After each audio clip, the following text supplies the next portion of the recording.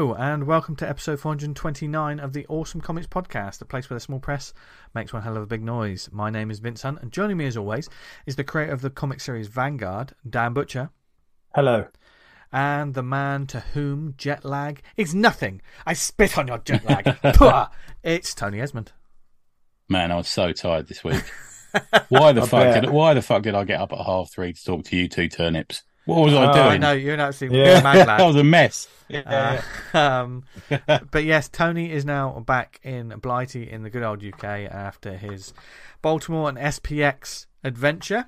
Um, If you want to know more about that in depth, then check out our last episode. It's full of full of goodness, as well as me grilling Dan about Vanguard. And Oh yeah, it's a good episode, boys. Yeah. Yeah, that, listen to that on the Cheers, plane dude. back. Yeah, Yeah, yeah, there you yeah, go. yeah. Ah, okay. I think we're gonna we're gonna we're gonna cover the Sunday as well a bit because we didn't get Yeah. to cover the Sunday, Yes. really, which Yeah. which had some interesting facets. Yeah. yeah.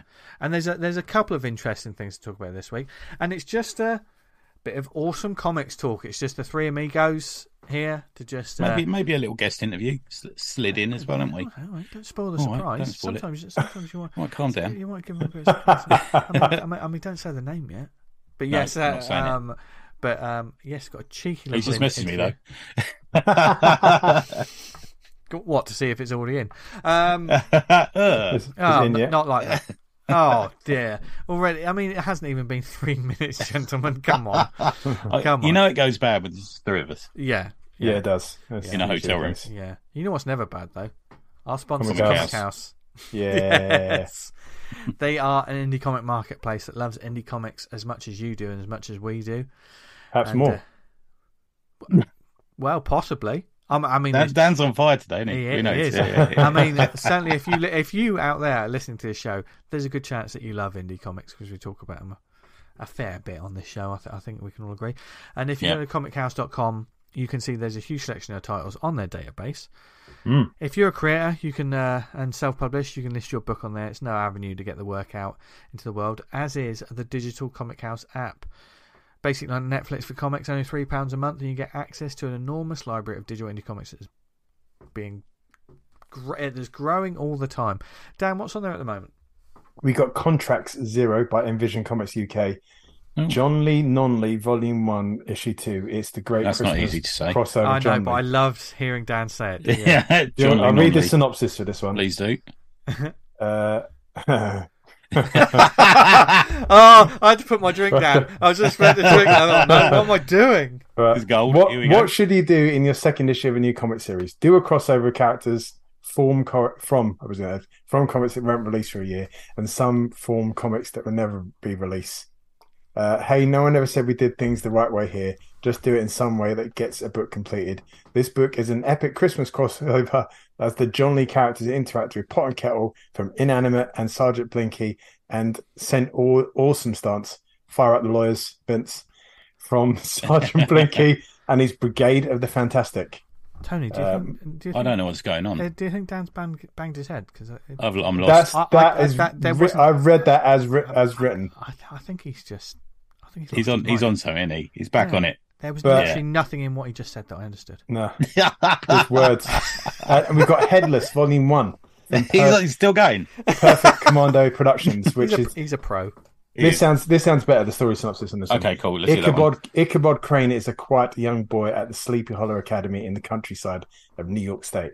After finding a mysterious lost horse in the woods, while under the pursuit of a merciless school bully from Brom Brombones and a Sleepy Hollow boy gang, and return it to the stables, you know. so, Oh no! Oh He now god! finds What's he doing? He's No. making his own jokes up now. he? finds himself under the protection uh, uh, affectations of the legendary headless horseman of Sleepy Hollow. There you go. There's Nice. nothing wrong or bad about that. I at know. all. So, I- No, so that's it le- purely lends, us- innocent, it totally len- innocent. lends us all to think what on earth was going through Dan Butcher's mind as he was reading that. But He's thinking, "What's a sleepy hollow?" I've seen one of them. Yeah. Yeah. And he's probably thinking that there's an amazing, there's all of that and more. must have been on the thinking that, amazing that, Vince, Comic House definitely. app. And if you want to find out more and uh, find out Who about am I on a podcast with tonight? Two pros. 14 day free Right, trial. when- when yeah, someone come? has to be because you keep interrupting me. Um, and you can dive headfirst into the amazing world of small press. We talk about every week. Check it at comichouse.com. Thank you. Yes. thank you to them as always. I know We've that got that Al Henderson listens to this on 1.5 speed. That will fucking spin his head out. You saying Yeah. That? I mean, my, what I said there sounded like utter gibberish. Uh, at 1.5 speed it's going to be even worse. Yeah. Shall I try Play, it and back, talk play it faster? and- backwards and you become a devil worshipper. That's how I'll it try, works. and, I'll try and talk faster the rest of this episode so Al finds it very hard to understand. where it's from. I don't know what you mean, Dan. What, what on earth could you be talking about? T- Well, Tony, you just sent still me the cover there. T- that Tony, I. Yeah. come on, me and Dan have had a go. Say something fast, Tony. I can't say anything fast. I've been drinking too much today. Oh, The, uh, what do you mean? You just throw up? Um, both ends. yeah. oh, Awesome Comics Podcast. High brow entertainment. Welcome to the Yeah. show, everyone. Fuck off, Frontline Radio 4. We're here to take your place. What's your idea of a perfect Sunday? No, anyway, um, Anal. crumbs. so- someone, someone out there, please just clip that bit and turn it into a little song.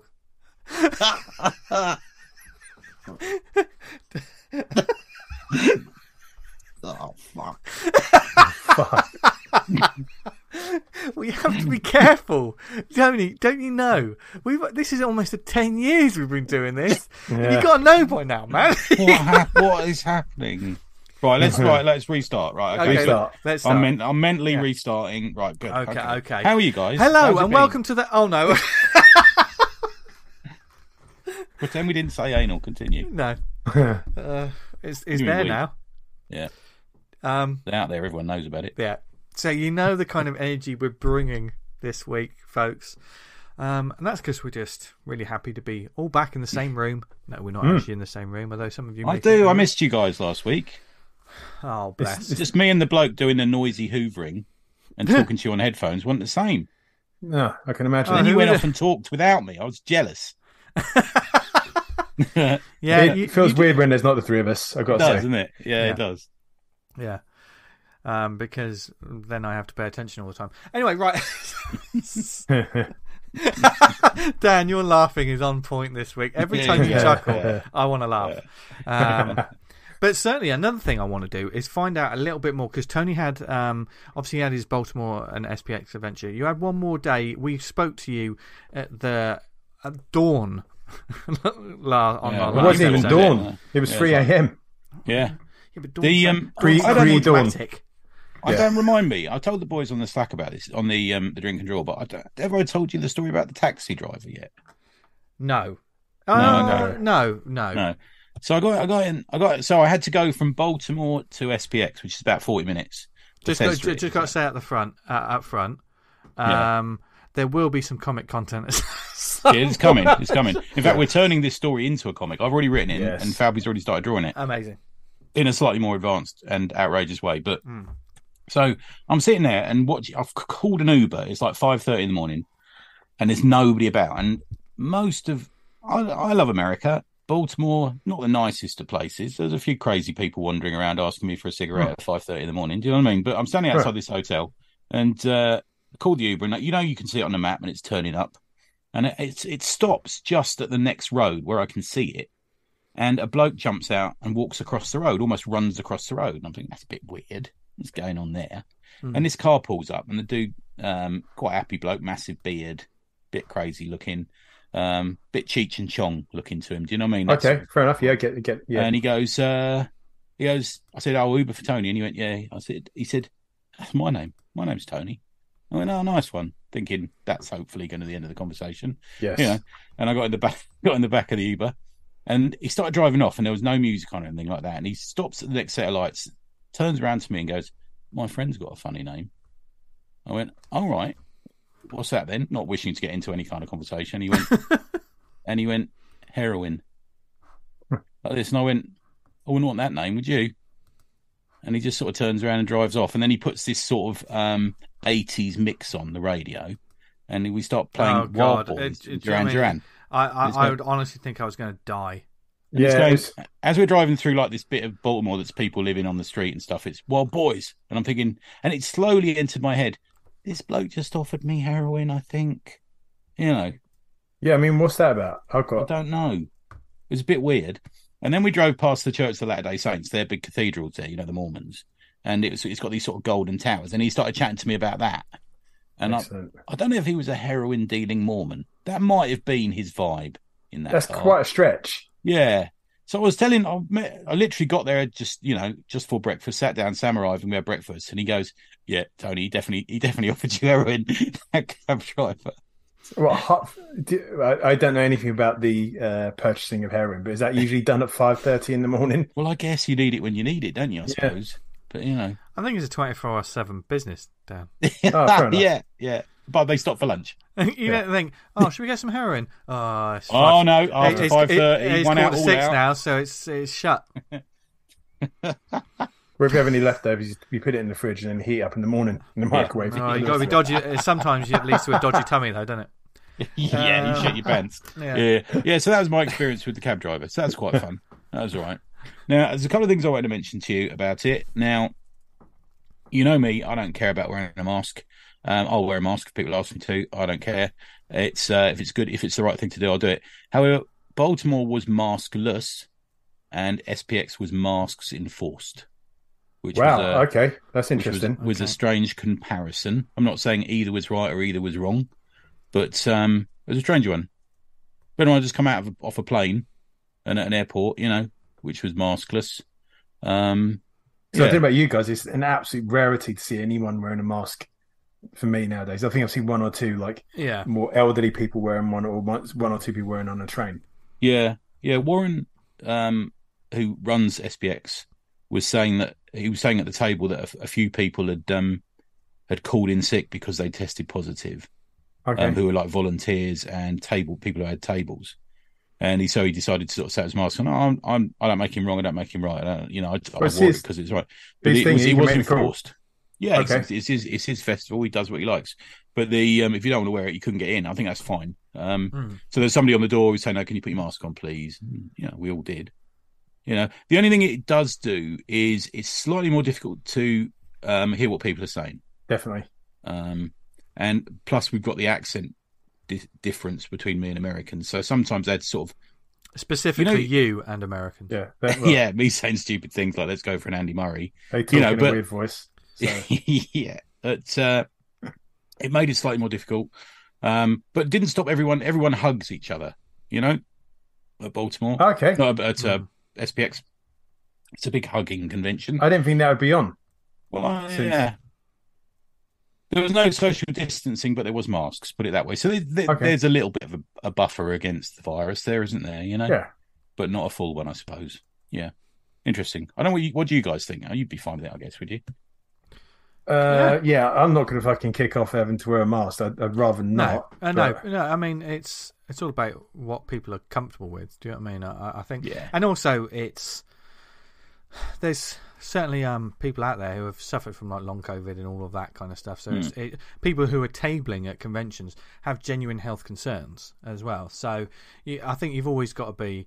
You should never be sort of flippant about someone's Nah. uh, health concerns or things like that. And if if they're comfortable doing it, then respect it. It's just you know, there's not enough respect in a lot of the comics community anyway. So we, we Not a lot of need- respect anyway, is there? Let's face it, sadly. Yeah. Um, Yeah. I just thought it was an interesting thing we could talk about. Do you know what I mean? I've not seen it so far in any of the festivals over here. Hmm. I do wonder that, you know, SPX does tend to be a bit of a leader in the scene. I wonder whether it was something that is being considered for for probably Thought Bubble, maybe the Lakes or something like that, you know? Hmm. Interesting. Uh, yeah.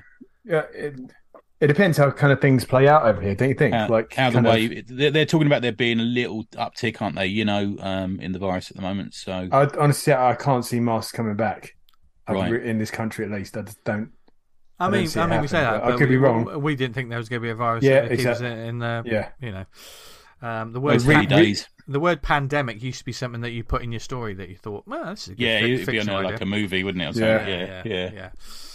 yeah. Um, yeah, strange things have happened. You know, well, they most certainly have happened. Do you know what I mean? Yeah. But um, yeah, I thought it was an interesting thing. Yeah. The other, the other, one of the other things I was going to mention, I know I just showed you it before we came on, is um, and it's something you and I, Dan, have experienced previously. Uh, UKCAC is producing a manu- an annual or a, a, a magazine yeah. just for the festival. Man, New I York- love New that. York do it. Love Um, that idea. Yeah, I really because that's like not only a collectible, it's kind of like a thing you have for getting being there. Mm. It's in and you can the get it ticket price. signed. You know, Yeah, the people who are yeah. there as guests and stuff. Like Steve Conley's got a great page Yeah. in it. Now, you know, he's I'm, I'm just going to play devil's advocate. I- I really love them as well. I just want to say that at the front. Yeah, Um, yeah, yeah. I, I, I love, uh, especially when it's a really nicely printed and you've got a whole. Mm. It's like a like a souvenir booklet, like Yeah. you like you would have going to a I mean, this is foil embossed. and theatre show Yeah. or Wow. like live sports show or something just anything like that. I'm I'm all for that. Um, in terms of the comics arena, um, what is the value of these things? Now, I'm not talking necessarily monetarily. Um, these are great things to have, but on the whole, a lot of the people who go to these conventions, do you think it's um, it's worth it for many conventions to do this? Do you know what I mean? Well, mine mine was firstly interestingly, I'm not sure because I paid a, li- a tiny little, it wasn't much more for a VIP ticket that got me in it earlier, and mine came as part of the ticket. So I think Gang- it depends on what kind of ticket you you could get. You, you get game free. Right. Previously, with um, for example, UKCAC. Um, I mean, they're, they're very iconic now. The UKCAC ones, you know, you can almost tell who went to what convention by which ones they remember.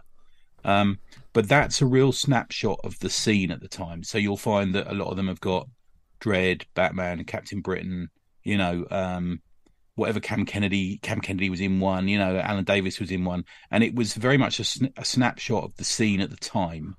Um, for example, when Miller came over for one of the UKCACs, there's um, a Miller Dark Knight in it, and there's a Nice. Watchmen in it, and stuff like that, which are kind of um, well, it's not original art, but they are originals for that booklet. Um, and I, for me, I've, I I regularly look back through the ones I've got.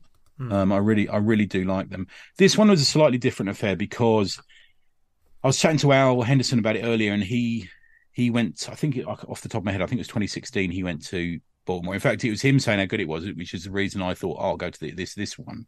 Um, and his was Liberty Meadows, which was the Frank Cho book. Okay. celebrating that.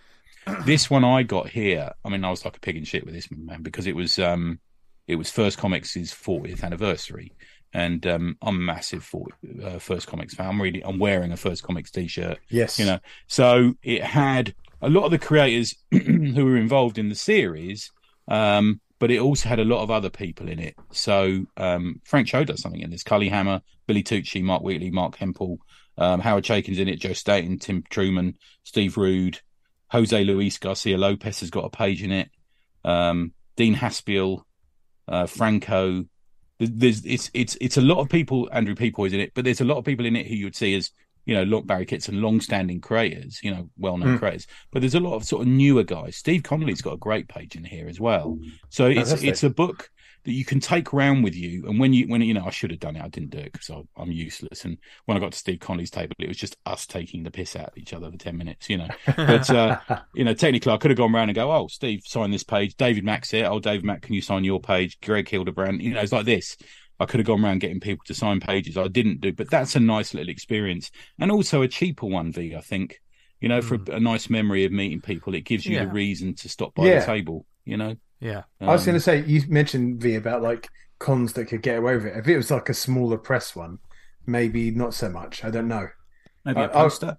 Yeah, I, I wouldn't mind having like if you had like a jam piece of kind of the bigger names doing some work there, and Yeah. you could go around getting it signed. I Yeah, guess you, that's yeah, and you, like for a smaller wa- small press or zine fair, you could possibly do something that, um, if there was creatives who were taking part in it, something that you could photocopy. Do you know what I mean? That You Mm. could you could do on a smaller scale and just staple together. It's the preparation in it for the Yeah. con. It's a lot of work Yeah. on the lead up to, and this would be like an added Yeah. extra, I suppose, if you had Yeah. time. You know, Yeah, If you could do like a black and white one on A4, and it said if you went around and got all the ten figures on there signed by the creators, you got an actual proper poster at the front. Do you think that would work? well, it's interesting. Do you Yeah. remember um, London Super Comic Con back Yeah. in the day? Yes. Uh, one of the um, I think I think it was that that had like the sort of leaflet brochure in it for the com- con, and I'm thinking of the one that was in the XL. It was XL, Yeah. wasn't it? Yeah. Um, and that had spaces for signatures, didn't it? I think if if if I remember correctly. Ah, That had, okay. Like um, but and I thought, oh, that's that's interesting. But how many people do that when you've got everything Yeah, else going? I suppose at also you need to have that these days. You need to have that caveat that if you offer them the the you know that whatever it's called the leaflet or the book for the convention that they don't charge you. because some people do. I remember one creator saying, "Look, I got to charge for autographs because it's cost me so much to get here." And I think fair enough. They're not. It's not overly Okay. expensive, you know. Um, some people will charge one thing for one thing, and then they'll charge you extra if it's going to be CGC'd, that sort of thing. You know. Yeah. Oh, right. Okay. Yeah, Did you just say something like, "Oh, can you just sign this? Is it going to be CGC?" Nope. Because when you see those, Yeah. I mean, you know, I, I'm just not in that game or in that mindset. But if you're at a convention, you see people that have like boxes of comics to be signed. yeah. I just think, don't do it, man. I mean, if I was a if I was a creator, certainly on, on that sort of level where people bring over boxes, you know, I'd say, well, I'm doing five and that's it. You know, uh, Yeah, A lot of people so do much- say that, don't they? Yeah, a lot of people have that on. So look, ten only because there's a queue. Yeah, You know. Look, Yeah, sorry, I think mate, it takes the can't do piss out of like if other people want to maybe just want to talk to you and you're you're sitting there signing books so someone can kind of I don't know, not, And- and not saying also- that they'll all flog them on, but Yeah, the Yeah. Cyn- the cynical part of me thinks like that though, Dan. You know, there's there's one thing to get. Oh, I've got five of my favourite books of this run to get this creator signed, but then when you're taking an entire run, uh, Did I, always think: Are they thinking further down? Are they thinking monetarily? Are they, they gonna flog this? Yeah, yeah.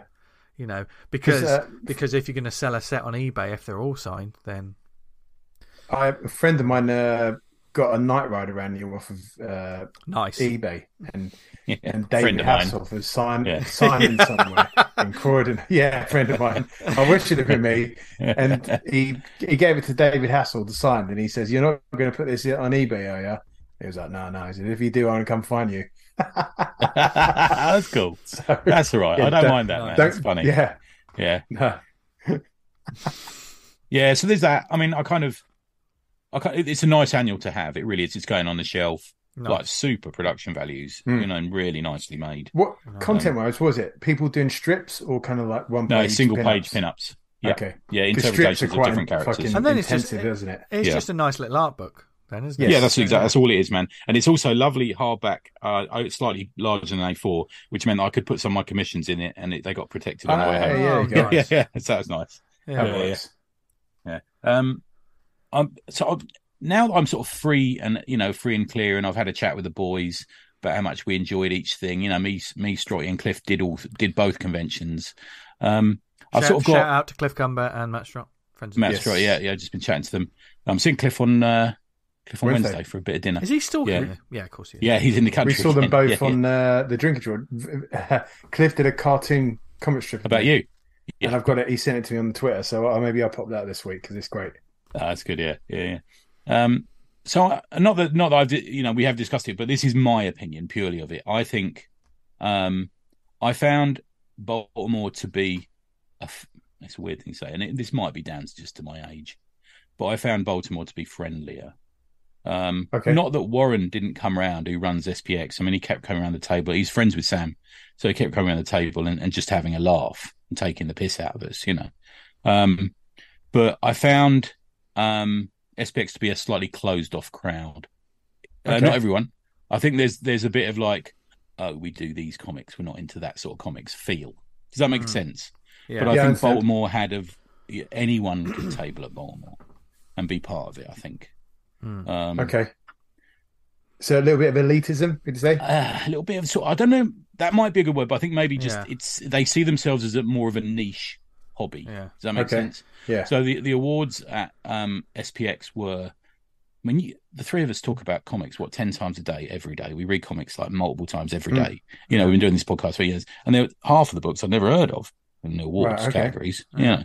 That's I'm not nice saying that we- sometimes. Well, it's nice to find stuff, and I'm not actually totally sure about the quality a lot of them. But I was, you know, I did feel like saying, "Well, there's a lot of comics out there, guys. You, you seem to be limiting yourself to one little yeah. crowd." Yeah. Um, but yeah, I mean,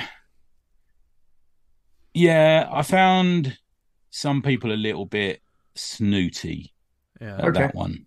Um, and- and unlike I did at Baltimore, but it may be just because I'm a cer- me, me, you know, me, Strotty and Cliff are men of a certain age, you know. Um, but not to say there was load. I mean, there was loads of men.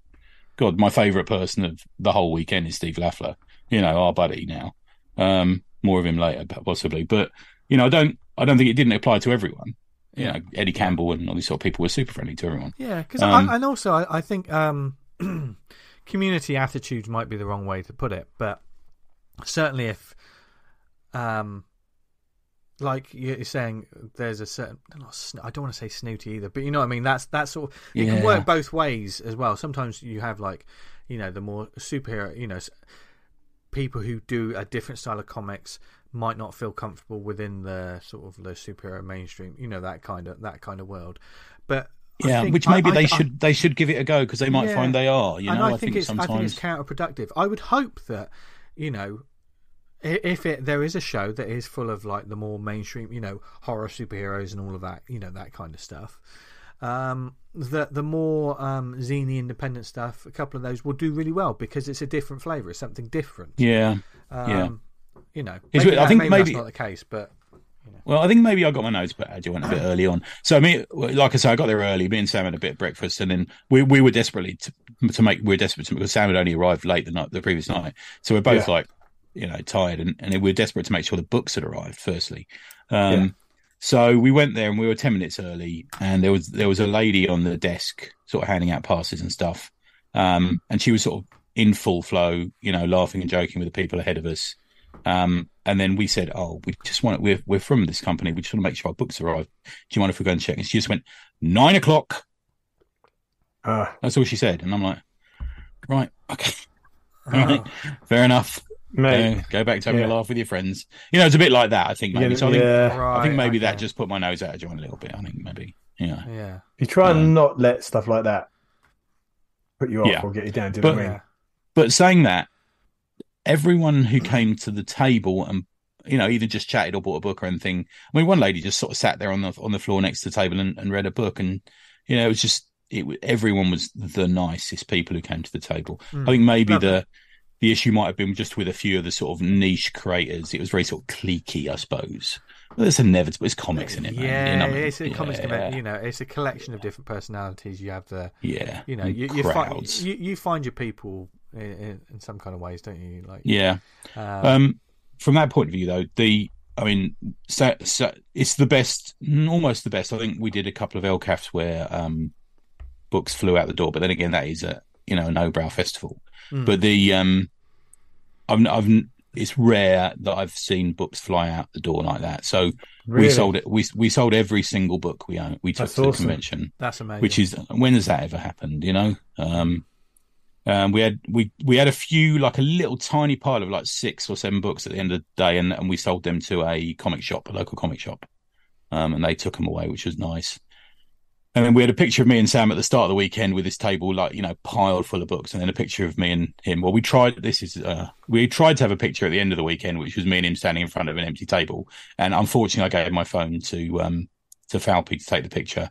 And then when he handed it back and I checked later, all it was was close ups of my face that he'd taken a picture of because he thought it was funny. But that's just, Uh, so he's funny. so he's taken away that moment for you uh, for all time. Uh, well done, but that's like, do you remember that time I said, oh, me and him were in Toronto and I said, uh, take, take a picture of me with all the background and everything, you know, and he's, he, and all he did was take a picture of something else that was behind me. Do you remember that picture? Yeah, well, I, to be honest, don't give him your, your phone. I know it's my mistake. Yeah, it's my mistake. All he did all the weekend was take pictures of me and um, Cliff and Sam and Tyrell from a distance doing stupid things like scratching our head or something. And there's one photograph I found where I caught him, and it's just me giving him the finger from a distance. Yeah, Tyrell had a really good weekend as well, didn't he? I think, mate, uh, what a dude! What a nice dude. So he's I don't I know no, uh, Tyrell. I'd liked his book. He sent it to me. Um, I got I got it sent through as an early copy, you know, pre pre release. Um, and his new book Vern came out, Custodian of the Universe, and um, and he sat there. And usually we have creators. It depends who the creator is, to be fair. But usually they do like an hour here and there at the table sketching in a book. But he drew in every single book. And we had, he was surrounded like a massive castle of turrets around his signing area with his own book. And he sat there. He kept saying to me, "I'm going to go for a walk." And then someone, I said, "Would you mind quickly doing this one?" He had no problem. Sat down again, drew it, and he never got away from the table. But because of that, he just became involved in art because we had Cliff and Strotty and Falpy and Eddie and all these sort of guys come and you know um, sit behind the table and have a laugh with us. And he just became involved in the uh, shenanigans, put it that way. Um, and I gave him a copy of Viz to read on the train home. And he mess- Awesome. He messaged me on the way home saying, "This is brilliant." Oh, I love it. You know, he was a big fan of the Inbetweeners, so I think he kind of got He likes that humour. Mm. Um, and um, the nice the mate, fucking watch out for him. Fucking love it. And he he's an he he he said something really interesting. He texted us this morning saying, "I found it hugely inspirational being there." Um, and he was being I'm not going to say exposed to, but he was being shown comics from all different areas. So, so for example, Eddie would come over with, you know, his sort of quite outre, um, transgressive, you know, strangers publications, and we showed him some of the tribute stuff, and I showed him Dog Boy from Lafler, and I showed him some um, Josh Bayer books as well, and he, you know, he that amazing, different kind of art was being plugged into him, and he was he, by the end of the weekend, he was saying it's really it's really got me motivated to to do something a little more different with the follow up and stuff like that. Really, really good. Yeah, really pleasing to have a guy and reactions like that. Um, Awesome. Yeah, that was good. And then Sam went on to do some. I think he went to do some talks at art schools, and he. I think he was there a hurricane. I think he just just missed the hurricane on the way home. Okay. Yeah, yeah. Um, that was lucky.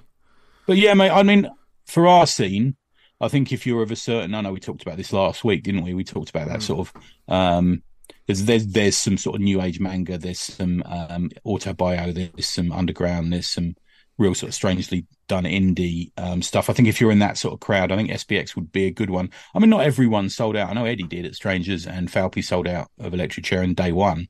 Um, but I think there were some people who you know complaining about lack of sales. But I think it's a it's a good place to get your book out there. Um, people turn up at the table. I think which is slightly different maybe to Thought Bubble, which isn't known as a big selling convention, um, but has the similar crowd. That crowd there will also buy. I suppose is different. They're looking to cut. You know, when we had people spend three hundred dollars on books in one in one in one buy, you know, at the table. Um, so they were filling up their car boot. like Man, that that's with books, yeah. impressive. Yeah. And and the other one we had, um, which is quite interesting, we had librarians come around. So the libra- librarians in America are a massive mafia. Yeah, they can make and break a book. They have all these festivals going. They get their books into sort of you know legions of of um, their libraries, and that can you know really make a book. Sometimes it has to be the right kind of book. For example, Hilda would be the ideal case study, you know, you yeah. know, or maybe in waves or something like that. I think probably Josh Bayer's books probably, as much as I love the dude, probably not. But you know, this or for example, tribute press books. I'm going to say aren't going to be great for a library unless you want to close the library. Um, but yeah, I think and they they came. We we easily had ten people come up to the table who are oh, I'm a local librarian. I'm a part of this group. You know, we're looking to get our stock your books. There's a bit of that going on as well, which was really useful as a way of um, outreach for your books because necessarily they don't buy them at the table, but they will order them off the site and you can arrange for them to be shipped specially, stuff like that. You know, um, so there's a lot of that going on. Nice, man. Yeah, that's re- like uh, we kind of hear about stuff about like the Scholastic and the librarians having so much Yeah. power, and not power, but you know they can kind of get books in front of people because they, Yeah. they've got that kind of buying Yeah. ability. I think which is I think, uh, yeah, definitely. I think the big thing is, and it's something we've experienced as well as a group, is um, conventions are seventy five percent the company. Yeah, Yeah. we we we've been to some of the worst conventions in the world, but we've had a laugh because it's been the three of us. Yeah, or you know, with, with Tom as well, and Yeah, Sarah yeah. and all these sort of people. You know, you sort of I mean- make it make it, didn't you? If you, Yeah, if you not- do. Yeah, Yeah, and it was definitely the company. You know, Sam, Tyrell, um, Cliff, Strotty, Adam, Eddie, Steve. You know, it was, it was that little crew that really made it for us. I think that's why it was so funny. You know what we're like. We we did- we literally laugh non-stop when we were at a convention. It was like that. I totally. think. Mm. Yeah. Yeah. that's why I enjoyed it so much. I really came off a high from it, from both. I don't want to be, I don't want to knock SPX. I just, I didn't feel quite as home there, I suppose Okay. as I did at Baltimore, but you know, I was coming off a real, real high of a weekend of comics chat. You know, I mean, we, we finished sun, we finished uh, on the Sunday because it, it closes at six on the Sunday, and um, we couldn't get an Uber because we had to go. Me and Sam had to go all the way back to Baltimore to the hotels there, um, and we couldn't get an Uber for about an hour and a half. So we ended up getting back to Baltimore for like half nine and found a restaurant that was willing to serve us. You know, and then Oh. just just sat there like exhausted, sweaty messes eating a pizza. You know, for uh, for crashing out. Um, That sounds like a convention, all right. yeah, doesn't it? It really Do you does. sound like on the way back you got quite a bit of sleep in, so it was all right. Yeah. So Yeah. shall I do the story about the the trip back? Because it leads Yeah, into yeah, our next subject, doesn't it? Yeah. Yeah. You're right. Any question? Any thoughts about No, that? no, no. No. Yeah. Oh, okay. okay. Um, so um, I flew back the Monday overnight um, and went through security and was sat there putting my shoes back on uh, after the you know the metal detector. And I looked to my left, and there's uh, Mark Buckingham from Fable sitting there. So, yeah, not not being a shrinking violet, I decided to say, "Hello, Mark. I'm really enjoying Fables. When's it end? Are you going to do any more?" And he's gone. Yeah. He's like, he's gone. Oh, fucking hell, nice. He says, "Oh," he says, "No, we're doing, going to de- definitely do some more and all this sort of thing." So I think that's right. So I, I paid for um, a, a ticket for the lounge. It's worth doing, guys. You go to the airport, always get the lounge. So you go to the lounge and they you get coffee and that, and uh, they come and tell you when your flight's ready and that sort of thing. And it's it's better than sitting in those stupid chairs, you know, surrounded by bing bong noises and stuff. So I'm sitting there, and then he walks and he says, "Oh." He says, "Mind if I join you?" I said, "No, of course not, man." And I'm thinking, yeah, the art, the artist from one of my favourite comics wants to join me. I'm going to say, "No, mate, you know, sorry, I see someone's someone's sitting there, you know." Um, and he comes out and sits down, and um, so we sat there. We sat there for two hours talking about comics. He showed me um, a load of double page spread. Oh, you like this, Dan? Because he showed me this, these pages he's drawing. I think you'll mind. Showed me these pages he's drawing from an, an upcoming Miracleman issue, and uh, and there's a tram in it. Right. So what did I say, Dan? Any guesses? There's a tram in it. I said, "Is that Croydon?" of course he did. Yeah, and like we talked about last week, we always say things that we regret and all haunt us for the rest of our lives. And he went, "No, it's Sydney." I went, "Oh yeah, thought so." Yeah. immediately, Tony Esmond immediately fucks it up. I love it. What- and um, Reminds me of the, the what you said about Cliff. yeah, last I know, I know, yeah. Um, so it, it it was just lovely, and we talked about conventions and you know his plans and this new new work he wants to do, and we sat there and it and because you can go and you can get beers and stuff, so we're getting drinks sitting down and you know the sort of thing, and then he goes, oh, "I'm just going to go for a week. Do you mind? Do you mind looking after your bag? Do you mind looking after my bag?" And I went, "That's fine. Yeah, leave it there, and I'll go through it while you're in the loop." Just for a laugh, I said that because I say stupid things, don't you? you know? Yeah. And he goes, "Oh no, don't do that because I was going to give you a couple of prints out of it." And I thought this is the best day ever, you know. So he comes back and signs like a death print and uh, another one and hands them to me. And uh, I said, "Mark, I've got to take a picture of you because no one will believe. They'll think it's my usual bullshit." You know? That's all. Yeah. Yeah. So I took a picture of him holding it. and It was great. And then um, we're literally across the plane from each other on the flight back. And he's like, he's he's in one side, and I'm in side. And then, and then on the way back, we went and collected our bags together. And uh, I got to meet his nanny. You'd come to pick him up and stuff. And yeah. How's That's that for a brilliant. journey back, eh? How yeah, that's that for great. journey? That is yeah. great. Yeah, so good. Yeah, what a lovely guy. Yeah. Yeah. Um, I don't think he's a big podcast fan or anything because he'd never heard of us. Obviously, or anyone who has ever listened to a podcast. Yeah, knows. gonna- gonna heard of us. No, no one's heard of us. No, exactly. Yeah, yeah. yeah. Um, but yeah, yeah. What a fucking nice cap to the weekend. Really. That's brilliant. Yeah. Yeah. Great Yeah. stuff. And Yeah, and his um, artworks looks amazing. Yeah, um, and it he's a he's a name that is in the sort of community Yeah. eye at the moment, isn't it? It's sort of peripherally, isn't he? Because Mm. um, and I asked him about this. He said he's not. He says the copyright for because his creator-owned Fables is owned by Bill Willingham. which Yes. is where we're going with this now. Um, so did you want to talk about that bit, Dan? I know it's the one you you thought might be worth mentioning. Yeah, well, kind of like there, there was some. This kind of came out of nowhere because I, I didn't realize kind of it seems Fables has kind of been caught up a bit with DC, and there's a whole thing with uh, Bill's been putting up online about saying he's trying to get somewhere with this, and he just keeps on getting fucking stonewalled, and he Yeah. this anyone he's talking to at DC gets brushed off or passed over, and it's just going round and round and round. He's finding it very frustrating. So essentially, he just came out and said, "Right, Fables is now uh, public domain. Anyone can do Yeah. with it whatever they want with it." And I was like, "Wow, fuck, you know, that's quite a move because That's a ballsy move. yeah, that's like fucking nuking everything, isn't it? Like, Yeah. right, I'm not going to get anything from this, but neither are you." Because I think Mark put it on the Slack, didn't he? And everyone to a man was, "That's massive." That is fucking massive. Yeah, that's a Hmm. big move. That's And- a ballsy Yeah, like, governor move. That is. And we, we when when I mentioned it, you know, I've sort of been promoting as much as I can Fables of like Yeah. last year or so. The I've been saying you never see it pushed No, anywhere. You no. never see press for it. Mm. And maybe that was part of his frustration. I don't know that for sure, but I, But I can only guess sells it. might really be. well, doesn't it? I mean, it's still. I hope so. Yeah, I hope so. I mean, it, Yeah. it's got to be an evergreen for them because it's in its like third iteration of Yeah. trade paperbacks, and you know, Yeah, I think it's that kind of.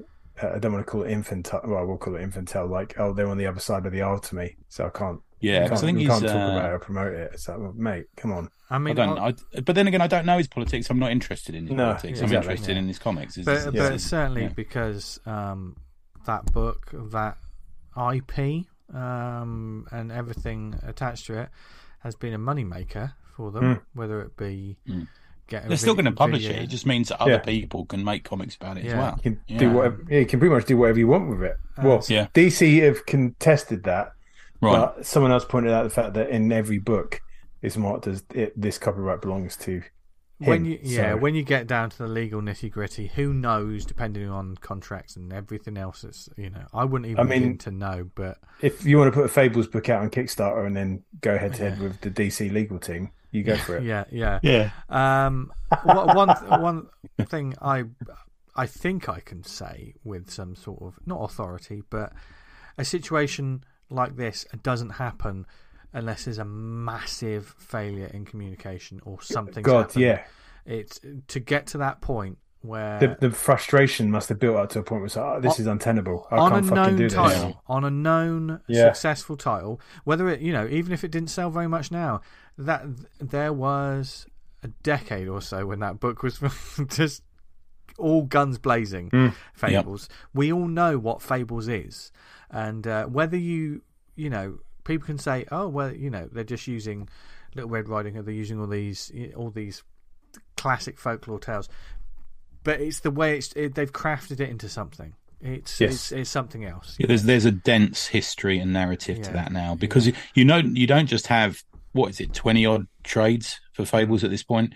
You also have um, the fairest, you have Cinderella, you have Jack of Fables, which I think is about ten trades. Mm. You know, it's, Yeah. it's it's a good few th- shelves of your bookshelf. Yeah. The, the the Fables universe, you know. And there was a video game, although I think he's saying for the video game he he wasn't asked about it and he made no money from it. I think. Yeah, I mean that wouldn't surprise me. Um, Yeah. Certain certain adaptations and things like that happening without a, a creator's cons- consent is a is a funny word to use, but um, but certainly when it comes when it comes yeah when it comes to adaptations and things like that, there are they just can go ahead they- just go ahead and do these things, don't they? How many times have we heard a creator going, "Yeah, I had nothing to do with that," when you think Yeah. that they do. You think, oh Yeah, god, yeah. you, I mean, it could. I wonder if any of our listeners out there have made a faux pas when you just sort of said, "Oh, I love that version of this," and the creator's gone, "Yeah, I had nothing to Don't do do with me. that." I know it's embarrassing, isn't it? Yeah, we've it's like done it on this out, fucking show. Yeah. We've done it on this on many interviews. It's just Yeah. Yeah, our hands are not blank, and we're not yeah. So clean, as it's, it were. it's certainly um, it, it's a fascinating situation, um, and It's There's going to be more- interesting to see how it develops. There's Yeah. there's axes to, that appear to be ground against him. You know, it's it's the whole thing, isn't it? it? We on the face of it, we look at it, we do have a chat about it on the Slack. We all, you know, to a man, it, uh, people of all different backgrounds and countries and political beliefs and everything. We go, this is really interesting. Yeah, I think this is likely going to be a good move.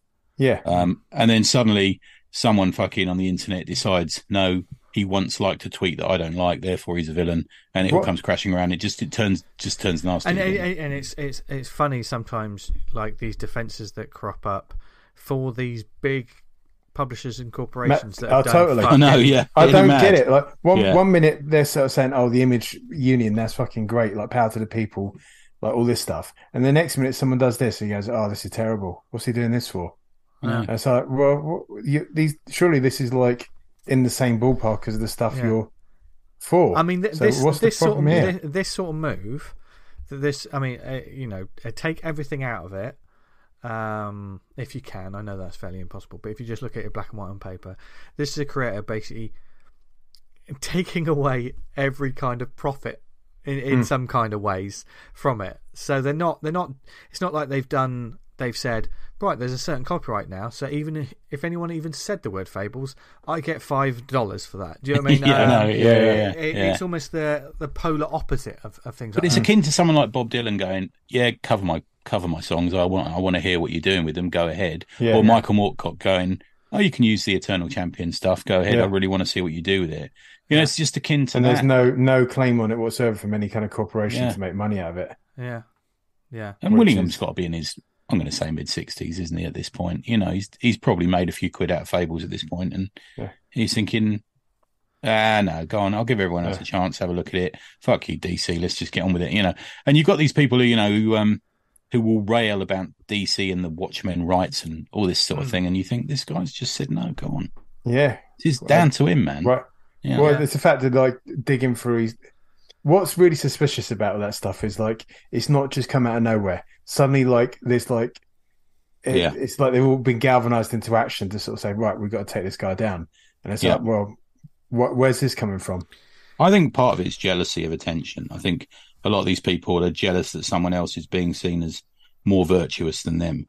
Well, we we we know that there's that uh, the Valerie, uh, I can't remember her surname now, the creator who said like a lot of people were using like uh, certain things as a cudgel to take out potential rivals Yes, and yeah. writers So and the, creators. the, she's an ex DC editor. I forget Yeah. her name as well, but she was saying she saw it happen over and over again, where someone there's a few people up for a writing gig, you know, or they know they're going to be up to write something, so they use they go through their tweets or you Yeah, know right. find something and then you know just kick it out in order to I mean, them, that- off them as a fucking competitor. as yeah. consumers and readers, that's at our detriment.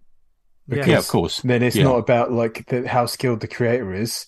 It's like how much backstabbing can It's- people do yeah. to it- get them out of the way. It's dangerous times, isn't it? It- it- Yeah. well, dangerous is a strong word for it. You're a hero um, till someone decides you're a villain these yeah, days. Yeah. Yeah. Um, because let's face it, on the whole, outside of the the community bubble, there's a lot of consumers of this stuff that um, it may break a lot of hearts when I say it, but they don't care.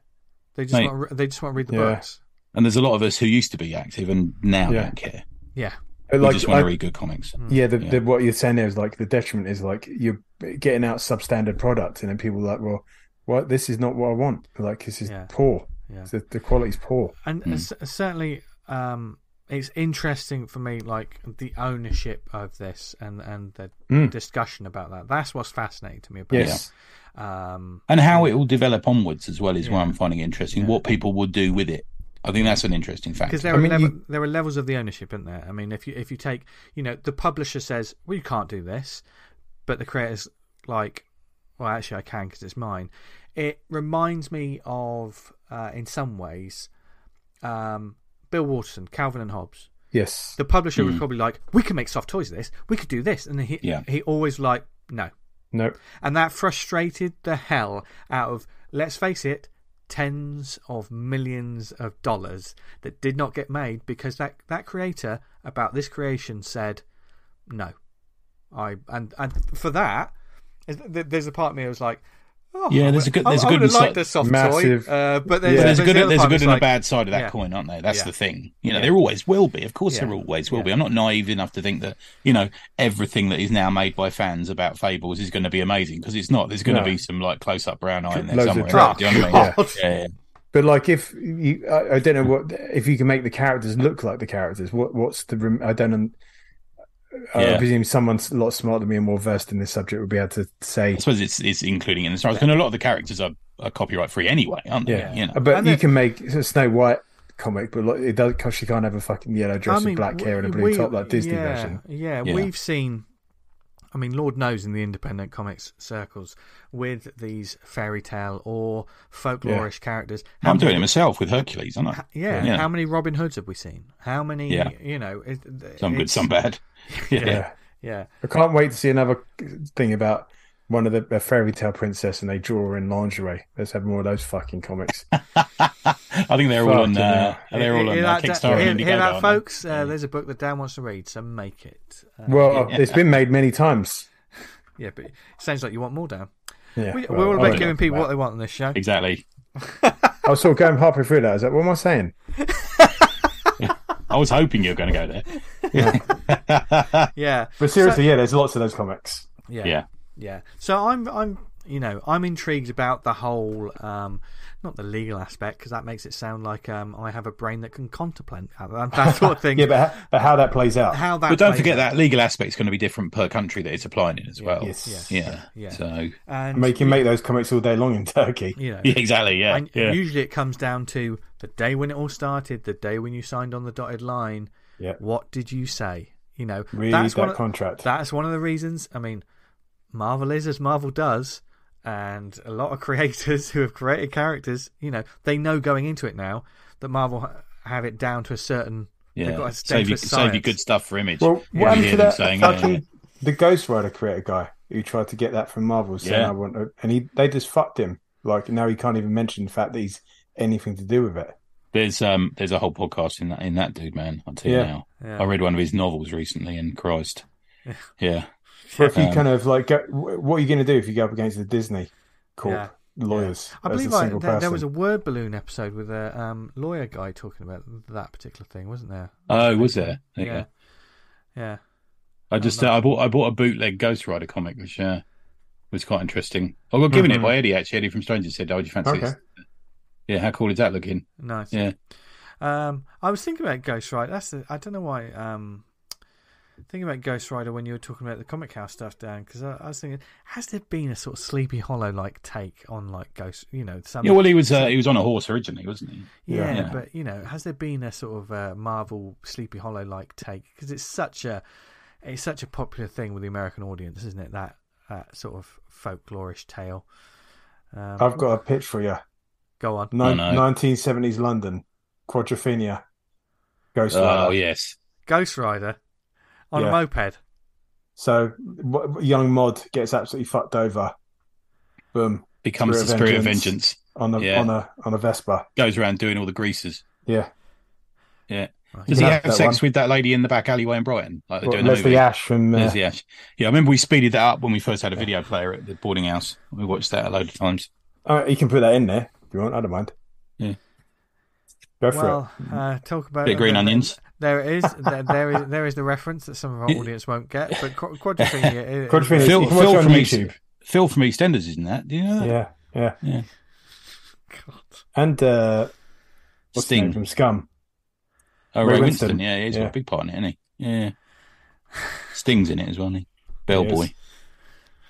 Oh God, has this become Let's move on from Quadrophenia. Quadrophenia? I, Yes. I might have disrailed that there. Yeah, That yeah. What were we talking about? Yes, interesting times in the world of comics.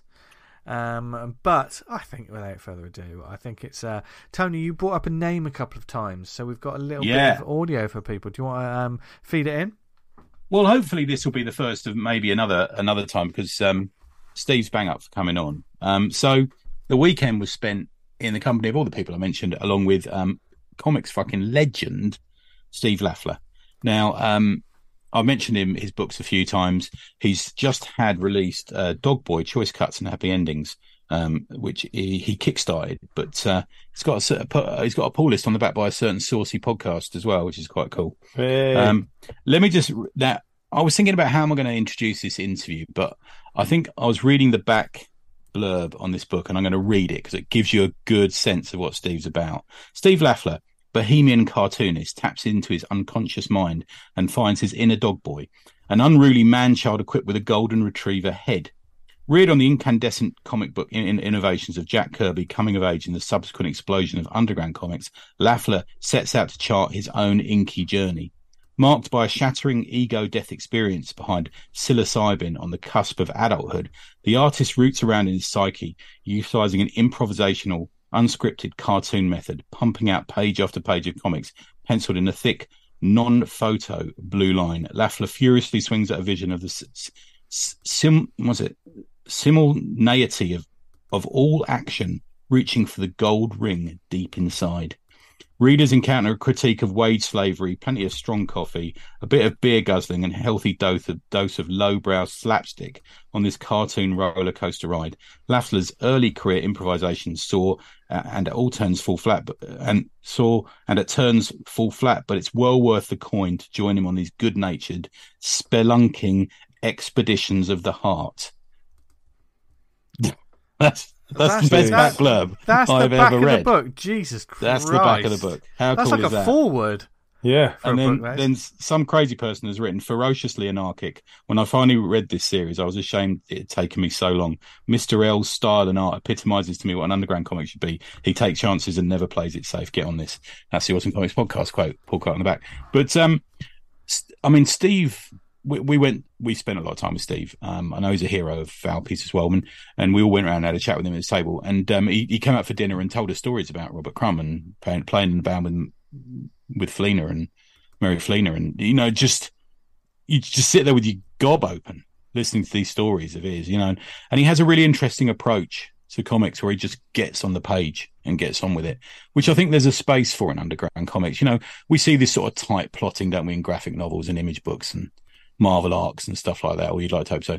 But in this, there's a there's a real instinctual attack on a page, um, and it it it's vi- visually very very punk, very strong, but he, he, knows how to draw as well. He also talks a little bit about um, 1956, which is a book we recommended about a year ago, um, which has um, a, a progressive trans elements into it that you know, um, which are really interesting and dealt with very sensitively uh, in a book about the um, the sort of jazz age and New York salesmen and stuff like that. Re- really interesting. Um, get on anything. You can you can find the some of them on print on demand on Amazon. You can find it on there, but. Uh, I think Steve speaks better than I will about his approach to comicing. And also at the end there, which is something I've started doing now, is you know we did that question thing like, like instinctually answer this question which we did a few weeks ago didn't we? Mm. um, i pull a couple of questions on him like that as well and see how he copes. Yeah in, interesting results but uh, i've yet to hear this so. Yeah have a have a listen to uh, so it's slightly noisy because we're on the convention floor but i think it's fairly listenable. Have a listen to uh, me chatting to steve lafler at spx okay i'm here with uh, steve lafler who um, came out for dinner with us last night and that was a lot of fun. You know, I mean, we almost paid a uh, hundred dollars plus uh, per plate, but you know, moved on to that udon place. So. We can blame Cliff for that. So Cliff booked a restaurant. We all sat down, happy, few. We finally got to sit down, and it turned out to be like the most expensive restaurant in the state, pretty much. yeah. So we like ran off, and we found a decent place in the end, didn't we? Yeah, yeah. no, that was great. That was great. You know, had a. I mean, that was that was good. You know, yeah, it was good. Spot. Good fun. Yeah, yeah, good fun. Now, good, good to talk to all you guys too, and you know, hang out. Really. Oh, mate. But, uh, well, the opposite is very true because uh, you regard us as stories of indie comics, and you've been about on the scene since I'm going to say the late seventies. Uh, well, yeah, I kind of I was in college doing a college strip at uh, UMass Amherst in the late seventies, kind of like making uh, all my bad writing and bad art uh, work to get you know my 10,000 hours in or whatever. Yeah. And then yeah, I put out started putting out comic books. I did Mean Cat in 1981 was my first one. Run of a Thousand with a a badly uh, screen printed cover, but at least I use this garish uh, purple and hot pink ink, so it sold out. so where would you sell that? Was it like head shops and stuff like that? Was it or? Yeah, you know, I tried to sell it to uh, the distributors, but they wouldn't take it because you know, it had a little bit of an amateurish feel to it, although it, it did have a, a, a, pretty dynamic, great cover, even if it was like a bad screen printing job. But um, yeah, the, the distributors of the time, uh, Capital City, I guess Diamond was just starting, even Last Gasp, uh, you know, they, they gave me positive feedback, but they didn't go for it. One distributor Glenwood bought bought it. They bought 400 of those. They paid me and promptly went bankrupt. You know, uh, how many distributors does it take to screw in a light bulb? Uh, you know, you don't think one, bankrupt them? Yeah, one yeah, one yeah. distribute and three to go bankrupt. You know, that was the 80s. So, but you've carried on. I know you had a brief a brief period in when you were in Mexico. You didn't quite do so much, but you've pretty much carried on since then, yeah. Yeah, yeah. I was in uh, Mexico for uh, 07 to 2016. Uh, I did put out uh, El Vocho during that time, and I did a couple print-on-demand only collections with uh, CO2 Comics. Uh, what was left of Comico, who uh, were a big okay. imprint for a while. Yeah. Uh, yeah, Bill and Jerry, I love those guys. but yeah, we did we did print-on-demand collections with Bughouse and Dogboy, and I toured on the the Bughouse collection in 2012. Had a lot of fun, met a lot of great people. But uh, yeah, you know, since they did not have a barcode on those books, they they were not going to the book trade. So consequently, you know, I finally got around to putting them back into print with a barcode myself in the last yeah. couple of years. So you've you've really taken a hold of the whole print on demand. Kickstarter, yeah. YouTube videos. I see they go back about four or five years, don't they? You've yeah. been talking about your comics since then. Have you had to sort of relearn the promotion thing? Have you? Yeah, a little bit. You know, I've always. I mean, it's funny. Um, I mean, my dad was like a, a business guy. Uh, you know, and I, I don't know. He was kind of in marketing and stuff for uh, high-end department stores. And uh, for him, you know, promoting was an art, and so I kind of got a little bit of that from him. I mean, I could have sold Buicks, you know, or, or at least I probably would have done better with Toyota, but uh, but you know, I, I like selling shit, so it's it's fun to figure out, you Cool. know. So did you want to talk about you, you sort of main books you've got on the go at the moment? Yeah, that's that's great. Yeah, this, right now, it's uh, uh, Dog Boy Choice Cuts and Happy Endings is a 300 plus uh, page collection of Dog Boy, the comic book I did in the 80s. I, I did a run of seven for myself, then 10 on Fantagraphics in the 80s. Now it's uh, gone out to the comic book distributors and the book trade, and I'm taking it around to a few shows here. And, And that's uh, pretty nuts, man. I, lo- I love it. It's one, it's one of my favourite things you've done. and the ACP have got a pull quote on it. Thank you. Yeah, that's It's, right. uh, Thank you for that, Tony. yeah, our pleasure, man. Yeah. But it's um, it's kind of you were just drawing it as you went along. There was no sort of grand plan. It's Yeah. just his character. It was- who's it got was- a dog's head. It was Yeah. very impro- improvisational, you know. When I was a, I was a young man, and uh, I was interested in sort of like the idea of automatic writing, you know, contacting the contacting the the spirits. Uh, you know, I mean, I I don't know if I'm putting this right, but yeah, it was it was totally improvised. I did bits of writing for it if if it flowed, but um, I like to make it up as I go along. Uh, I even read uh, an interview with Crumb around the time. He said he doesn't want to know too far ahead what's going to happen because he doesn't want to get bored. And also, uh, I don't know, all, all during uh, all during the 80s, uh, Louder Acid seemed to always figure out where I lived and followed me around. So that helped me with the improvisations. Wow. Okay. Yeah. Wow. Okay. Is that and the other one I've got I've got a T-shirt of that image. I think. Yeah. Yeah. On off red bubble. Is that that's what's Yeah, that's that's a variation on the theme. That's the cover. Uh, that was the first sketch, a preliminary sketch for the cover of uh, Death Plays a Mean Harmonica. Yes. It's like you know, kind of a sugar skull, to take off on a Mexican Day of the Dead, Day of the Dead imagery, and yeah, that that's the cover of Death Plays a Mean Harmonica. It's sort of like my uh, graph, 150-page graphic novel, kind of my fictionalized report on living in Oaxaca for 10 years and uh, kind of being drafted into being in bands with both expats and Mexicanos and uh, you know and also uh, I moved there when I was 50 and I was like kind of contemplating mortality from the point of view of a a 50 year old to 55 and what better place to contemplate your morality than uh, Mexico where there's a full acceptance and a sense of humor as well as fatalism about life and death and uh, they kind of got it right you know? They, they, they don't they don't hold it away at arm's length. They look straight at it. Death's the thing there, isn't it, man? yeah yeah, But you, land of peyote, peyote, and is that? Yeah, well, that's um, you know, the, I guess in the in the north with uh, uh, in Sonora area, Sonora State, um, there's uh, the Huichol people have their long-standing cult of peyote use. Uh, down down in Oaxaca, you have uh, a couple of different towns, Huautla de Jiménez, where Maria Sabina, the shamanist, was, and then you have uh, San Jose del Pacifico, and uh, yeah, you can. I mean, they've been uh, using mushrooms ceremonially there for 3,000 years. So you could go. I went like I went like when I knew my dad was like in his final illness. I went to uh, San Jose del Pacifico, and uh, I don't know, you know, just ate a bunch of shrooms and contemplated it, and it really, it really helped me through, uh, you know, accepting his uh, his imminent demise. It wasn't easy, but you know, Yeah. an interesting thing to do. Do, do you use psychedelics in your work as well? Or? Um, you know, uh, I found out when I was a painting major in college, and I, uh, through uh, experimentation, I found out, you know, you can't really make art when you're when you're tripping, uh, because you can't, you know, you you see that there's this like, you know, matrix of decisions to, you know, you make a decision every three seconds when you're creating art, and Yeah. you, you can't do that when you're when you're when you're tripping. Really? Okay, But, it's interesting. Yeah. you know, you can also, uh, you know, I don't see tripping as recreation so much as like, uh, you know, it's like kind of like you're you're mapping out your psyche and your trajectory and your appreciation of reality and stuff. Uh, so I kind of look at it like that. Wow. Not to say I haven't, you know, been to like dozens of uh, dead shows tripping balls, but you know, that was a whole other thing. Man, I love the dead. We'll talk the dead one day. Yeah, Yeah, yeah. yeah. I'm a fan. Yeah, I miss Jerry, that's for sure. Yeah, yeah, sure. We can do with him these days. Yeah. Show, the- show the kids what's really going on. Yeah, Yeah, yeah, right. yeah. So what have you got on the? So you, we we've been at SPX. So it's start of our second day here.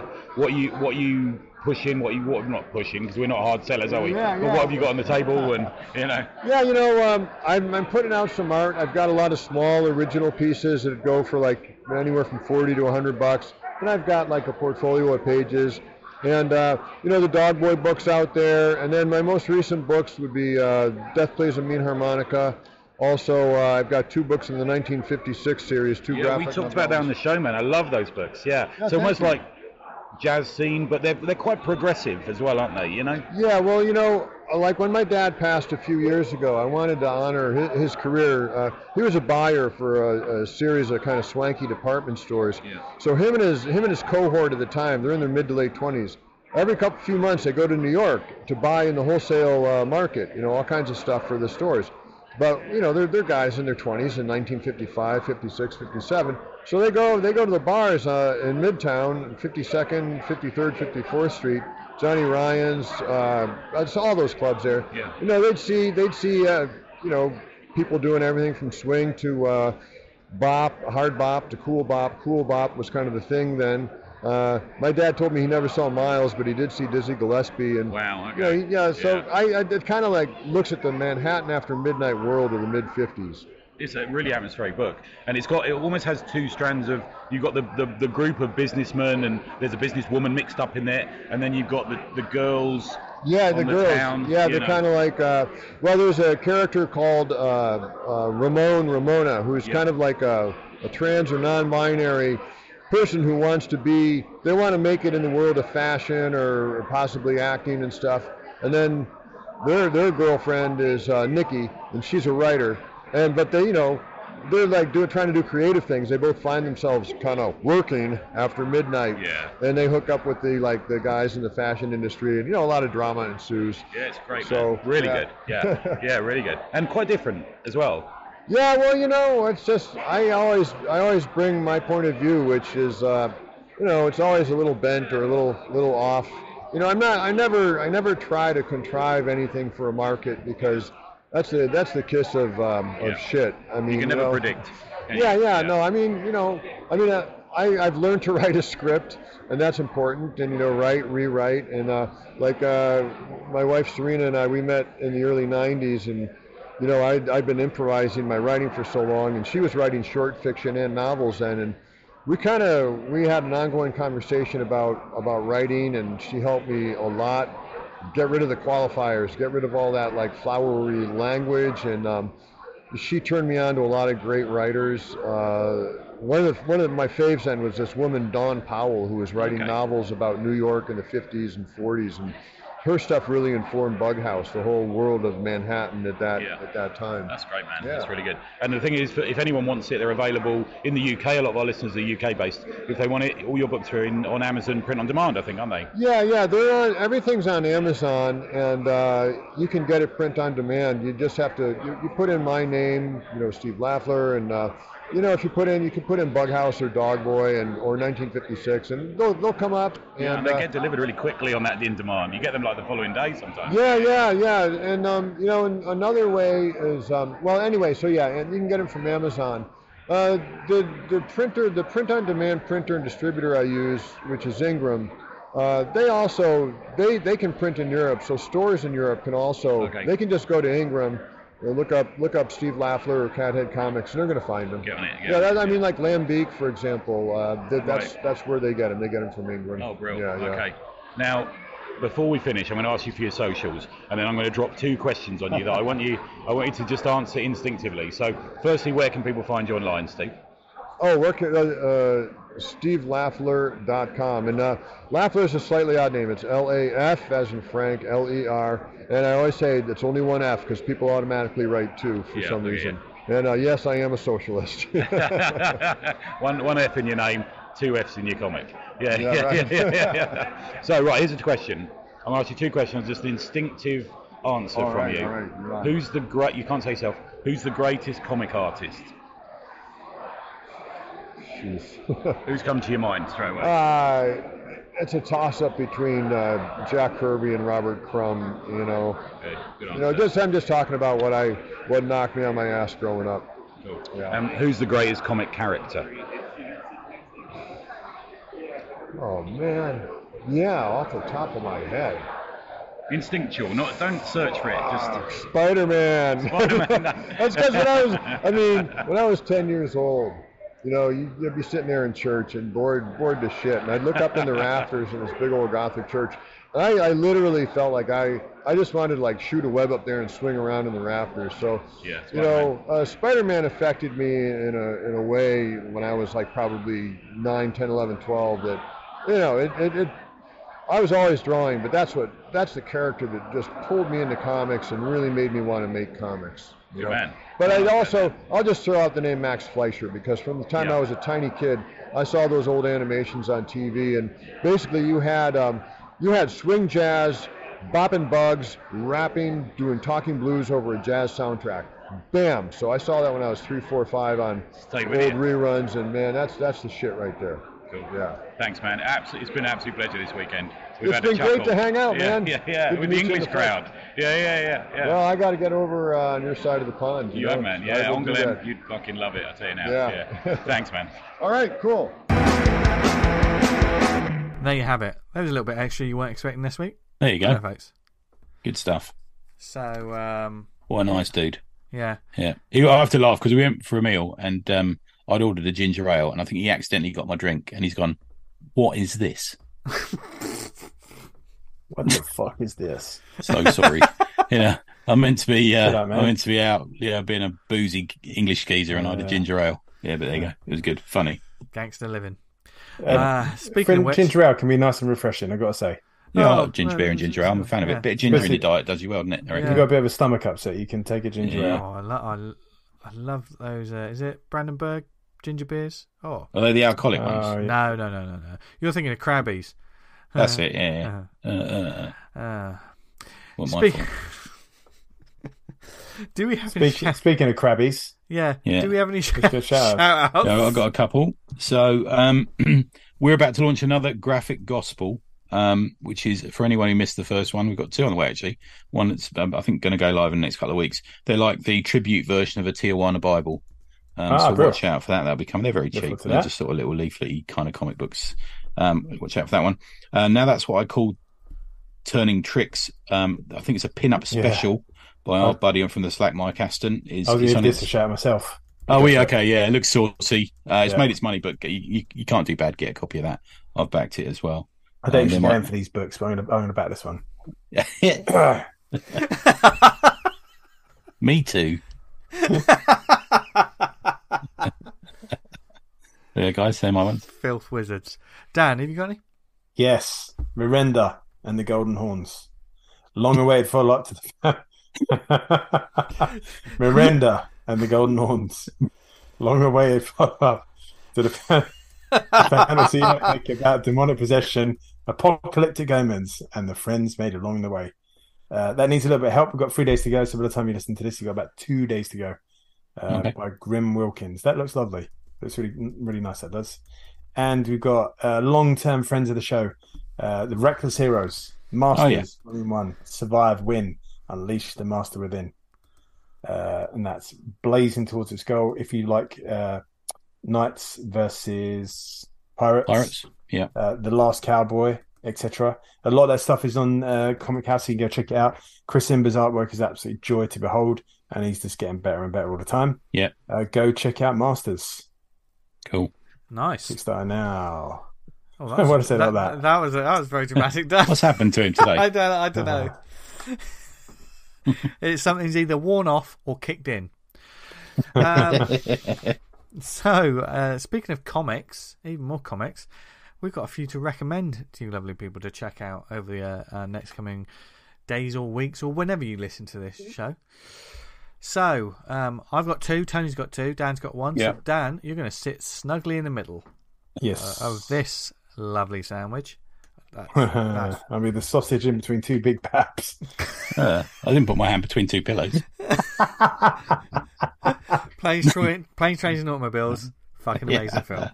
Um, That'd be when they go between the two uh, trucks. yeah, And he looks cuts over over and and there's John, a spark. John Candy looks like fucking the devil. Yeah. The devil. Sounds as if you come in the car with me. Steve Martin's fingers have been embedded in, into the dashboard. Oh, I mean, it's no First Wives Club, but it's pretty good. yeah, what Yeah. could be? Exactly. Anyway, uh, Who's going to kick us off? Tony, do you want to kick us off? Okay, so I go first. So my first one is spread love. Yes, that's what I said. Uh, not suit. It says on the cover, not suitable for children or your mother, which I kind of like. Huh. This is issue thirteen. It's twelve dollars from Atomic Books, who were our um, table mates. at Hey. SPX, the nicest people.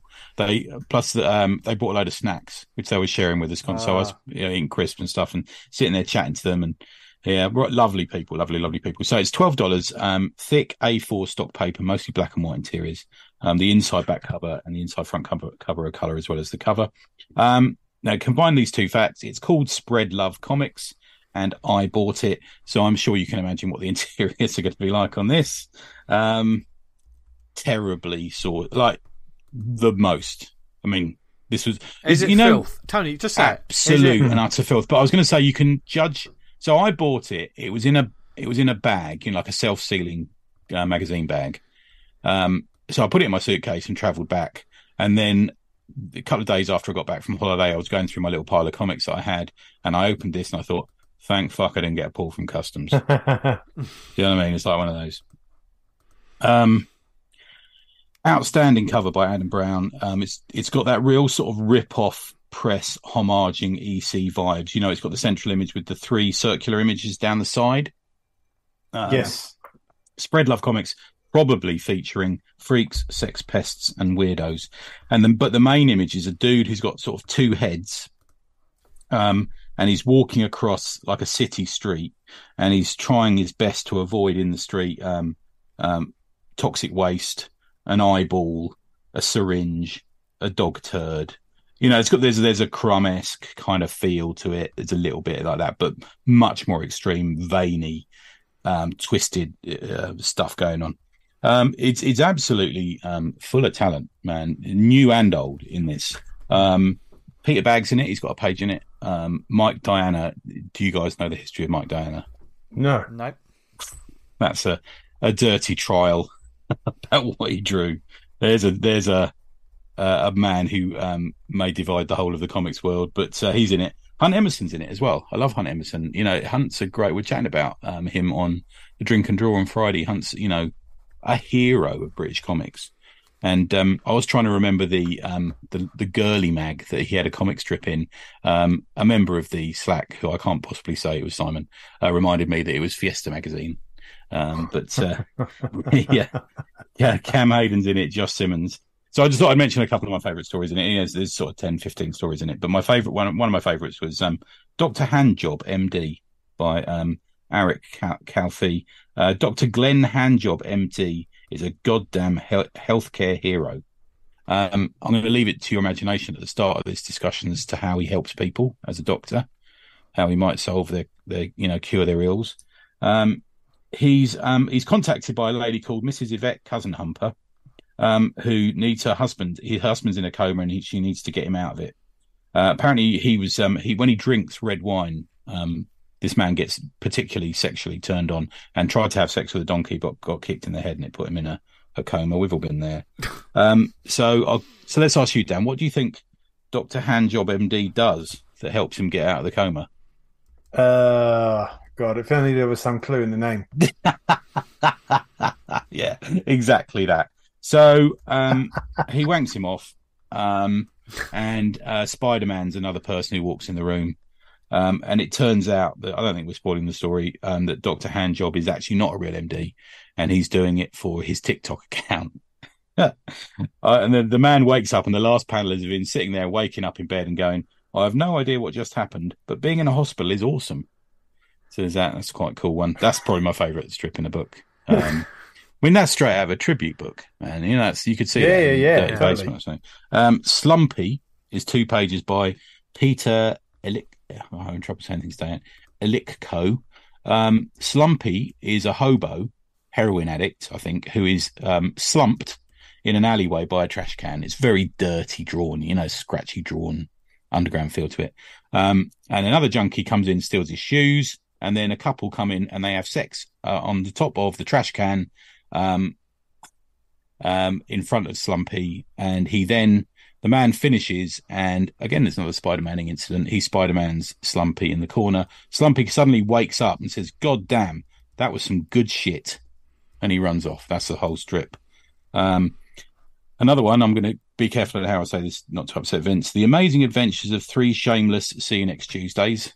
Didn't say that again. Um, and this is by the cover artist Adam Brown, who I was just talking about. And it's about three three guys. They find a homeless man, and for their TikTok hits, there seems to be a um, a satire on social media going on in this, which is natural anyway. It obsesses a lot of people, isn't it? Um, it's worth taking a piss out of. They give a homeless man some money, and then when they turn off the phone and stop filming, they curb stomp this homeless bloke. And then the three blokes go home and then um, so all independently suck it, suck themselves off. Um, we've all done that. Yeah. So oh God, Vin P. God. yeah. Um, spread love. It- There's a lot of these. I wish I'd gotten them before. Yeah, I don't really see them in shops over here. I suppose it must be a difficult thing to import. I'm guessing. Um, but interestingly, Falpy's in the next issue. Oh, so the, okay. one, the one that's being advertised at the moment, Falpy's in that one. So I'm looking forward to seeing that.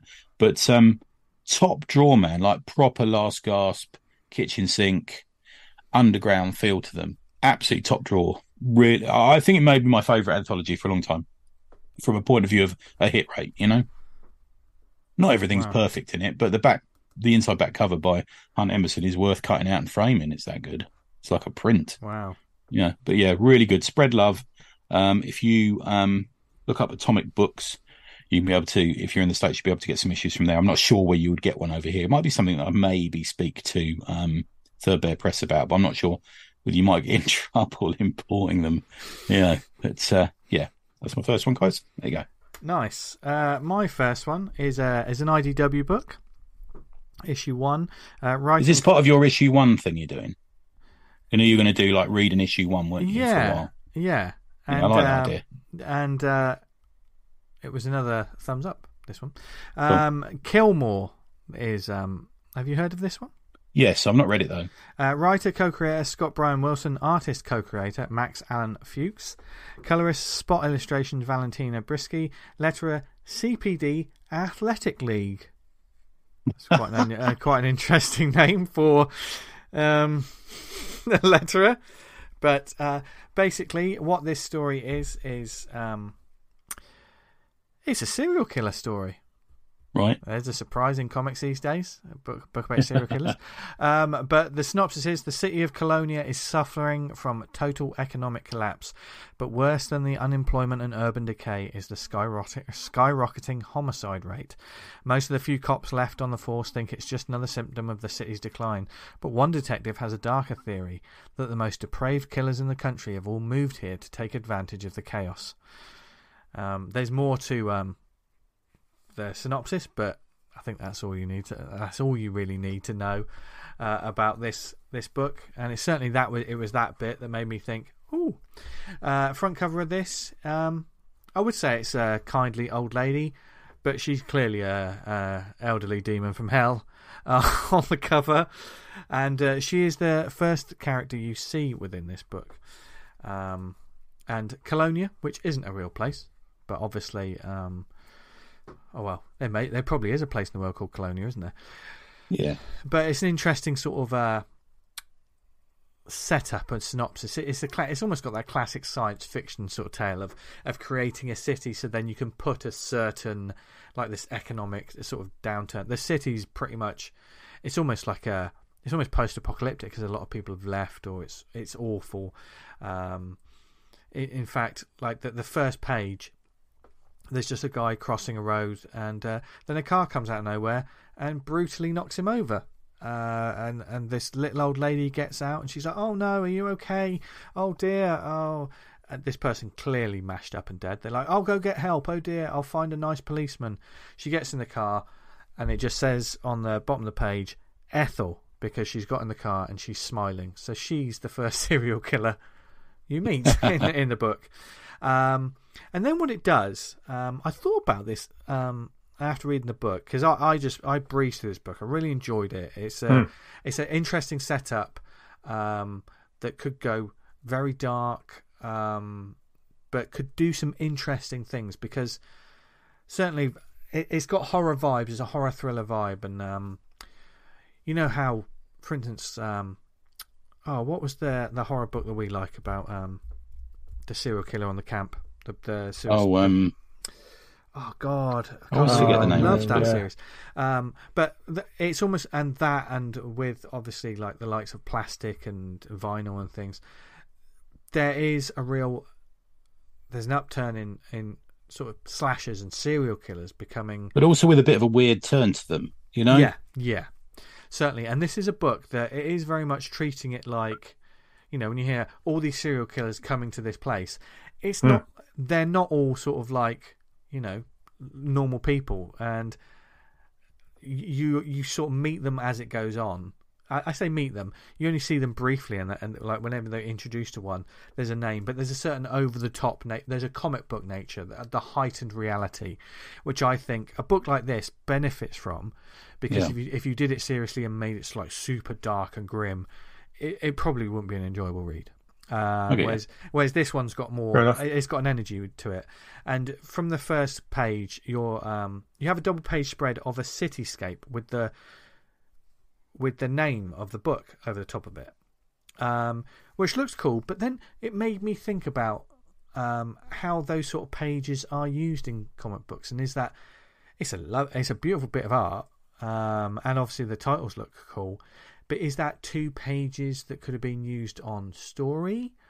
Or is it something that when they're creating this they're thinking of the eventual eventual trade? Because i don't see they're going to do that on every issue. It was that was a more of a, a comics constructive you know like you know how is this being made? Is this being made with a viewpoint of the book at the end rather than the individual issue? Um, which is an interesting uh, way to sort of go. I'll, I'll send you guys the page of you know the double page spread because the first one's called scum. Although it says scum part one so i don't know if um Okay. this is going to be ongoing. But you then meet uh, a guy called the giraffe who has who's uh just seems like a normal guy. I mean he looks pretty weird and he's being interrogated by the police. And you find out a bit more about like the killings he's done and how he he literally came to this city to take advantage of like you know the, these people that just didn't leave town people that on the downturn and he just wanted to kill lots of people. It's very, it gets very dark. Um, but then later on as these detectives are finding out like one of them has a list of missing people which is huge. Um, but the city's so the, the back end has fallen out of it so much that there's not even IT departments within the police department or anything. You know, he he he literally had to print off a list himself, and he's been marking them off physically with a pencil once he's found out where these people are because of the knock-on effect of his partner that starts the issue says to him, "Oh, by the way, this is my last day. I'm leaving. I can't do it. I can't do this anymore." Um, and he meets Yeah. another character who's going to become his partner and uh, it's it's almost the first issue is the setup of the world. Um, there's some beautiful shots of like how run down and you know just the, the awful this city is. It almost feels like dystopian. You know, we had a, a, an episode about Yes. dystopia and Yeah, stuff. yeah, There- yeah. Yeah. There is that kind of feel to it. But amongst that, there are still places that are still existing. Like there's a diner that's you know that's seems to be acting normal. There's a character that, as soon as I saw her, um, I thought she was a vigilante at some point, um, and she feels like a a creation of Dan Butcher. Um, because um, you see this woman like built like a brick wall, and she's just she's literally just beating the shit out of a guy. She goes into a a sort of cafe, orders like, I mean, she, she orders like a, a like three different meals for herself, and uh, she gets on quite nicely with the you know the guy that's working there, and she shake, shakes his hand, and you can see the bruises on her knuckles. And uh, but then when she gets up to leave the table, you see her name is Lady Face Smasher, and I was like, okay, there's a, you know, she's she's someone that's just there to literally kick the shit out of people. So she's another one. That, neither another one of the characters. There's an there's a guy called the Sufferer. There's a serial killer called the Sufferer who seems to be killing people and then feeling bad about it. it there- there's some. They're introducing these little characters as it goes on. I don't know how. I I really enjoy it. You know, I Well, was- is this an ongoing or a mini or? I think it's a mini. I mean, it's IDW, so I'd imagine it's um. It's lucky to survive, man. They got rid of most of their books, sadly, yeah, didn't they? yeah. Really? and Okay. This one has just come out this week as well, so this is a, this is All a right, one. watch out for that one. Yeah. Yeah.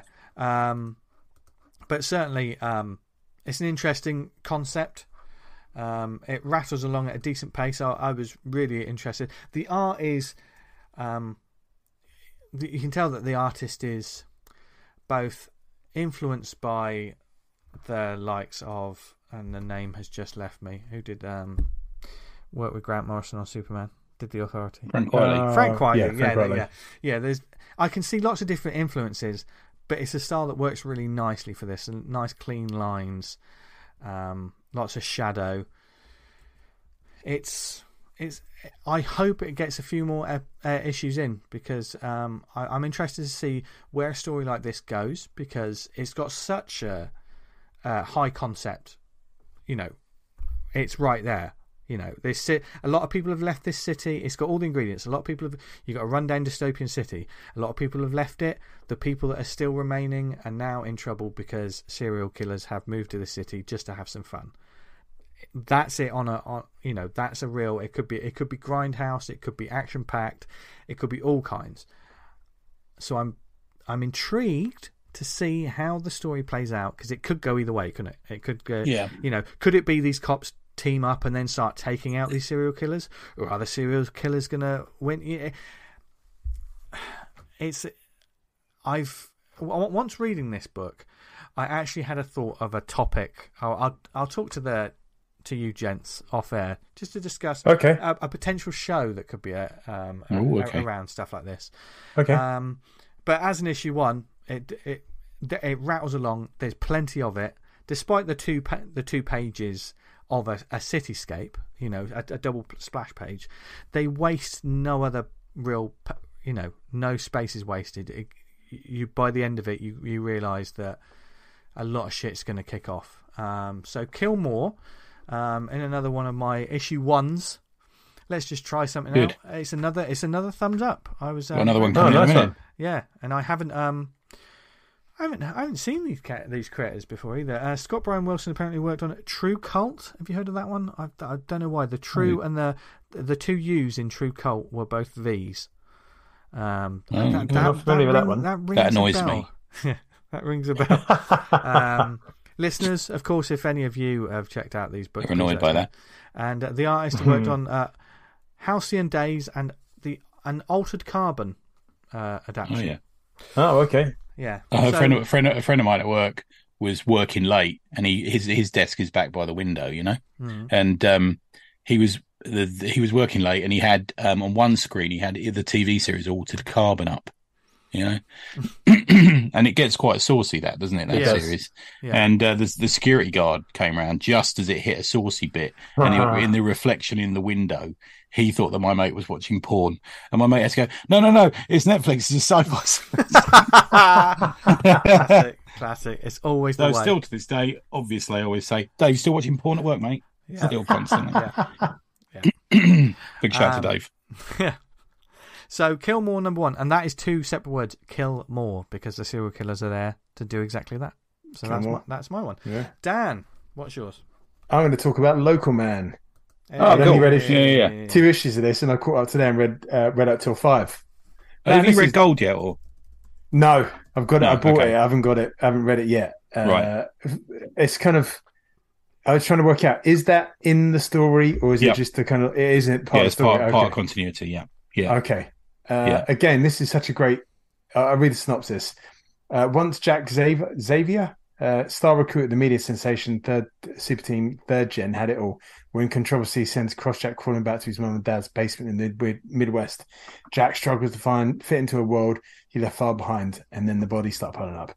So this guy, uh, the main character, Jack, he used to be a superhero called Crossjack.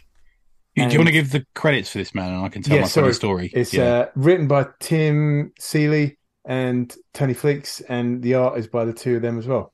Yeah. So interestingly, um, just quickly to interrupt you, D man, is um, I had a photograph with me, me, uh, Strotty and Cliff in a diner, a coffee shop just before we went into Baltimore, and then we got photobombed by some bloke looking in the window, um, and we all thought, "Oh, look, we're being photobombed," and like a week later, I realised it was Tony Fleecs. brilliant. So the creator of this Great. book was that bloke who was looking in the window, going, "What are those fucking three Fucking weird guys. blokes doing?" Yeah, yeah. so the main character used to be a superhero called Crossjack, who was in like an image team of superheroes. We've talked about this book before. Uh, Yeah. It's a real banger.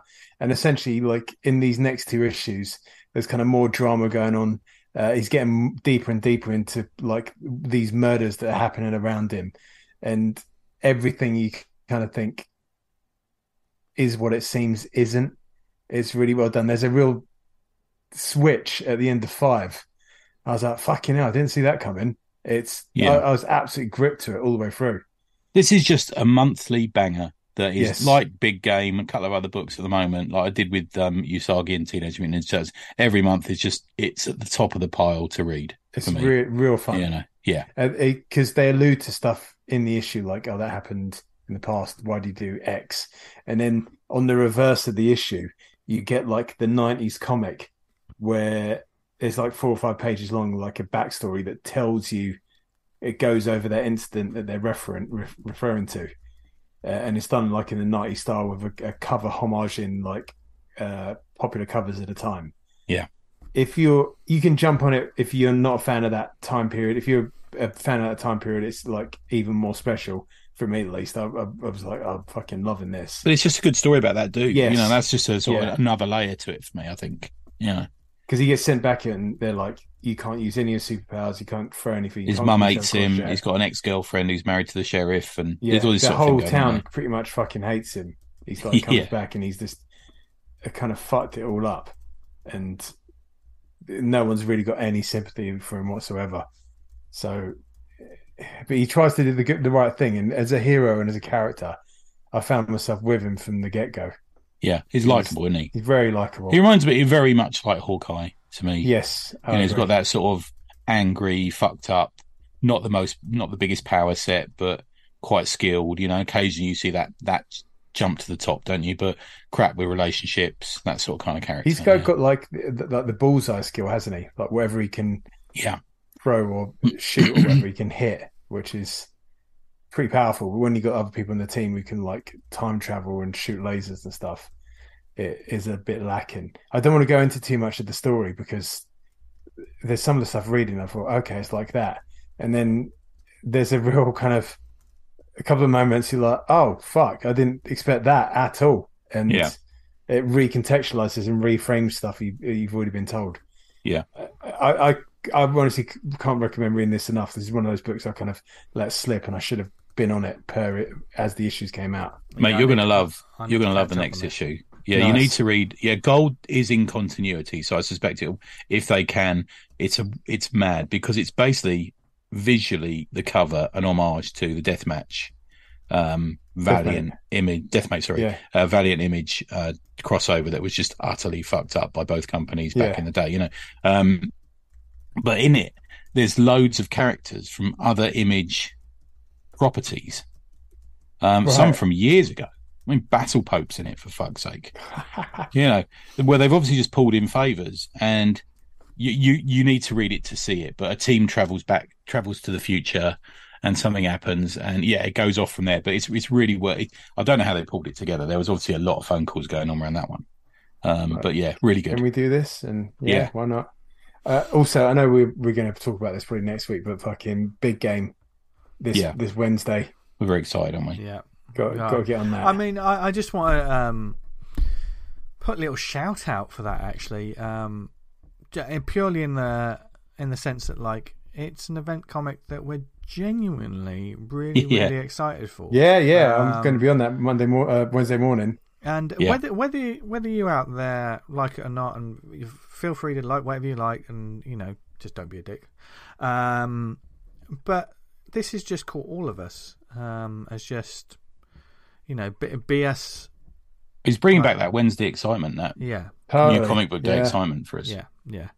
Which um, you know, this is this is the first. I mean, I I love a lot of comic series, but this is the first time in a while where that sort of Wednesday. Oh, I've been aware of what what date that's coming out. Do you know what I mean? Yeah. Um, so interesting, interesting times. Uh, you know, and I hope that w- wherever you're listening, there are creators and books out there that you know exactly when the next book's coming out or when their trade's coming out or anything like that. Because it's just awesome when you feel like that about comics. Let's be honest. Yeah. That's why we're here.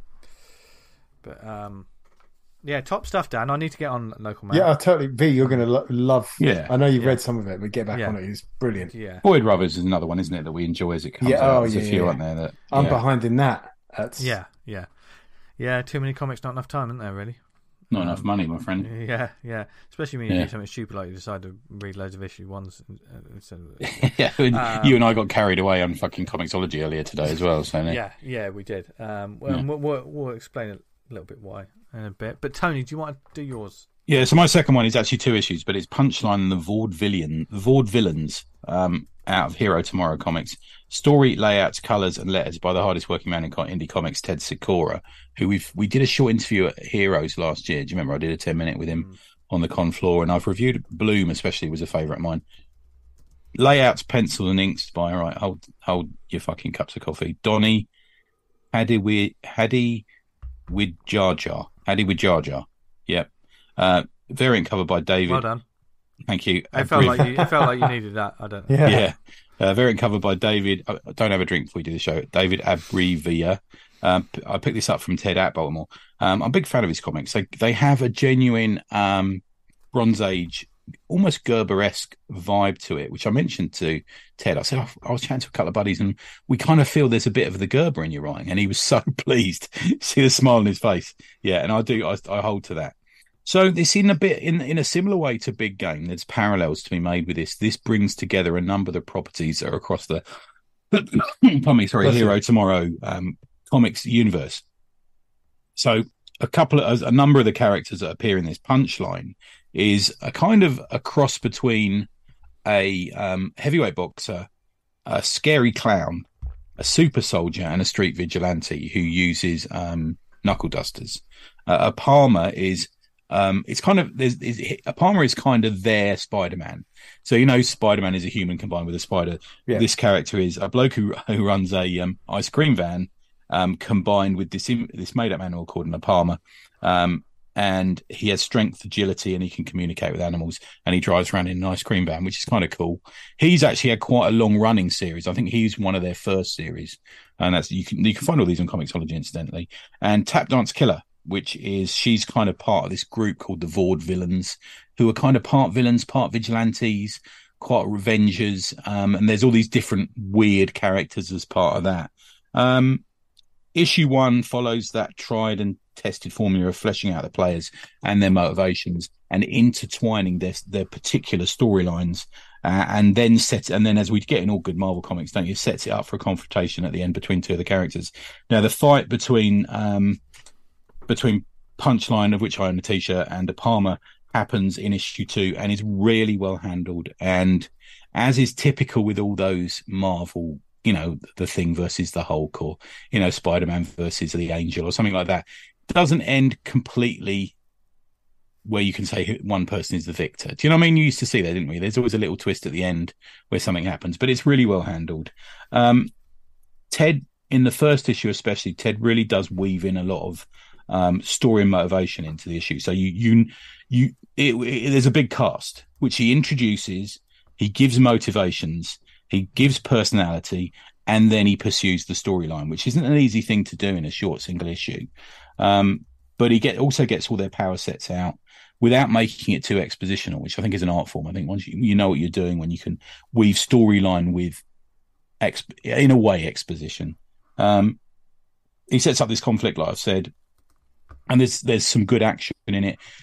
You got to do that. You can't have a comic that's just talking heads in this Mm. sort of universe. So it, it there is a there's there's some punching and some action and some. This is where maybe the the Gerber comes in because it's not just a superhero universe.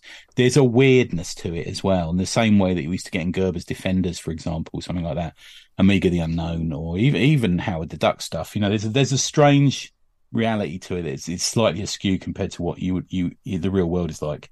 Um, and you can't always predict who is the hero and who's the sort of in the grey somewhere type character. It, and it, but that makes it all the more enthralling to me. It makes it more interesting, and you you want to follow. And you you don't I don't necessarily have a favorite character in it. I, I think I like them all. You know, um, there's um, I got the I got the collector's edition of this. I'm not sure if that's the regular. Um, which I got Ted to sign, but in the back there's loads of extra material in there. That's uh, um, a lot of the way they do use reference to um, communicate with the artist. So Ted very much works hand in hand with the art as a writer and you know layout artist um, to such a point where he'll even pose as the character, so they so he can communicate the the way someone's sitting down or the way way someone's sort of head in their hands looking sad or the way someone's transfixed sitting in a bar watching a big fight kick off sort of thing it's, it's but it's not just done as extra material and informational in relation to um, the back matter. It's also done with a big smile on his face. You can see there's a couple of panels. I'll send you actually a couple of panels where he's um he's just sitting agog looking at what's going on. It, it's funny man. It is funny the way he does it. Um very readable. Um the art is strong. Um, I mean, this would be quality for a Marvel book, I think. Um, is that you know sometimes we get we give people a buy, don't we, when they're in the indie small press? We think, well, it's only small press, but this mm. would be strong wherever it was put, and I think that's what we should see comics as. We shouldn't give them a you know give them a chance because they're small press. You know, everything is on the same playing field these days because they they all sit on the same shelf in a shop, don't they? Um, but this this is quality and and really up there. Um, and it's very easy to pick out each character to work out who per, who each person is. The the the costume and character design is very strong in this, and there's a bit in the back about that as well. You can find Ted on Twitter at Ted Sikora, which is S I K O R A, on YouTube Hero Tomorrow, Instagram Hero Tomorrow, and you can sign up to Ted's mailer. I'm signed up, and he's always sending stuff through. He does. He he has his business model on Kickstarter, um, I think mostly, which is a good way to do it. Um, but you can also go on to Comixology and find Apama and Bloom and Tap Dance Killer and, and and all the other stuff as well. So if you fancy it, go and have a look. Not always easy for us to get it in the UK, but I I tend to back his stuff digitally on Kickstarter, and then when I see him, I'll pick up the issues that I like. You know, he did a big deal. I think Cliff picked it up, which he had a couple of books that, like, we say damaged, but they're not. One of them, a couple of them, where he'd accidentally signed the cover twice or something, and that went into the pile of books that he got away. And he, he and I think mm. Cliff for forty dollars bought a couple of hardbacks and a load of issues. It was a really good. Had I had the space in my bag, I would have bought the other pile of comics like that, you know. Mm. Um, but yeah, Punchline and the Vaudevillains. But have a look for anything from Hero Tomorrow comics because it's, it's, all good quality, really good stuff, and a nice alternative to Marvel and DC if you're a bit sick of their comics at the moment. Go and have a look at this sort of thing. Okay, that's my second one, guys. Nice one, nice. And my second one is issue one of a series that when I picked it up, I absolutely just motored through the first issue and eventually. Just, oh, we were talking about it, weren't we, online? Yeah, yeah, yeah. yeah and I just ended up buying a couple of, um, a, a, few more issues, and I'm working my way through them as well.